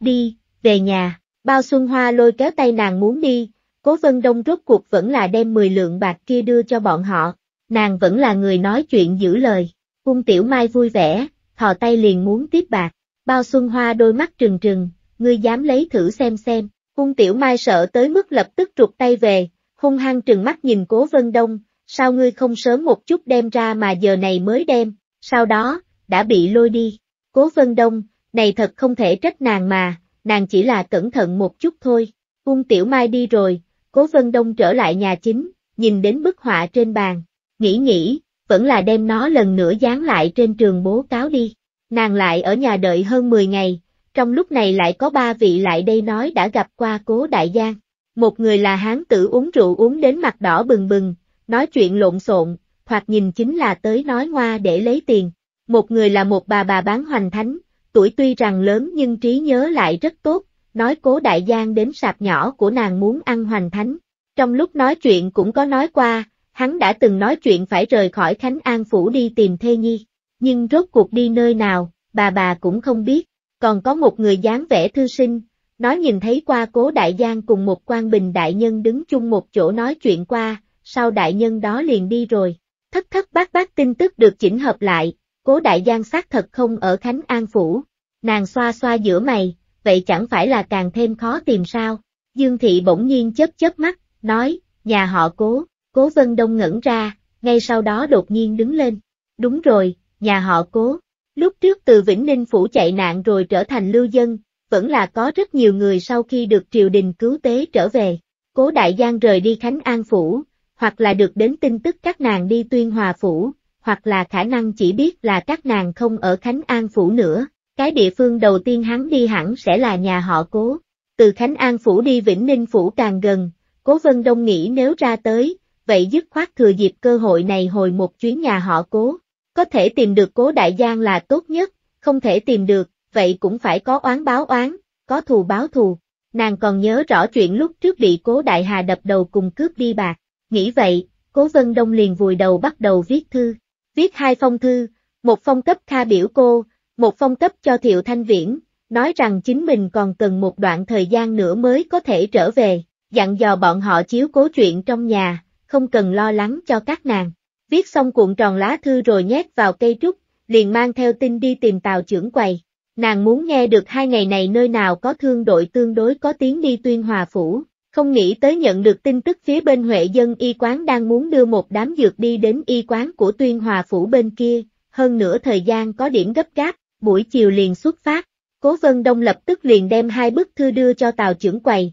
cho hắn bạc, nhờ hắn cần phải đem tin đưa đến. Việc này có tàu trưởng quầy ở đây, tự nhiên không cần lo lắng. Tào trưởng quầy biết được nàng phải đi, còn có chút cảm khái. Cố Vân Đông thỉnh hắn nếu tái kiến tiểu gia hỏa Bạch Dương kia, hỗ trợ nói hắn một câu là mình đi rồi, nàng liền không đi bên phía ca ca hắn quấy rầy. Ngay sau đó Cố Vân Đông lại bắt đầu thu thập đồ vật, lại đến bố báo bên kia bóc bức họa của Cố Đại Giang. Từ Ung Tiểu Mai kia nàng trừ bỏ biết cha không ở Khánh An Phủ nữa, còn biết việc bắt đạo phỉ cha cũng ra lực. Nàng lo lắng có người đối với hắn tâm tồn oán hận, cầm trương hình ảnh này nơi nơi tìm hắn. Bức họa này quá sinh động, quá giống thật rồi. Thời điểm Cố Vân Đông bóc bức họa, còn nghe được người chung quanh nghị luận sôi nổi. Lúc này mới biết được thật là có người dựa vào được bức họa mà tìm được người rồi, đúng là đệ đệ của hai huynh đệ rèn sắt kia. Cố Vân Đông cảm thấy khá tốt, tuy rằng lúc trước có lợi dụng bọn họ, mục đích không đạo đức cho lắm,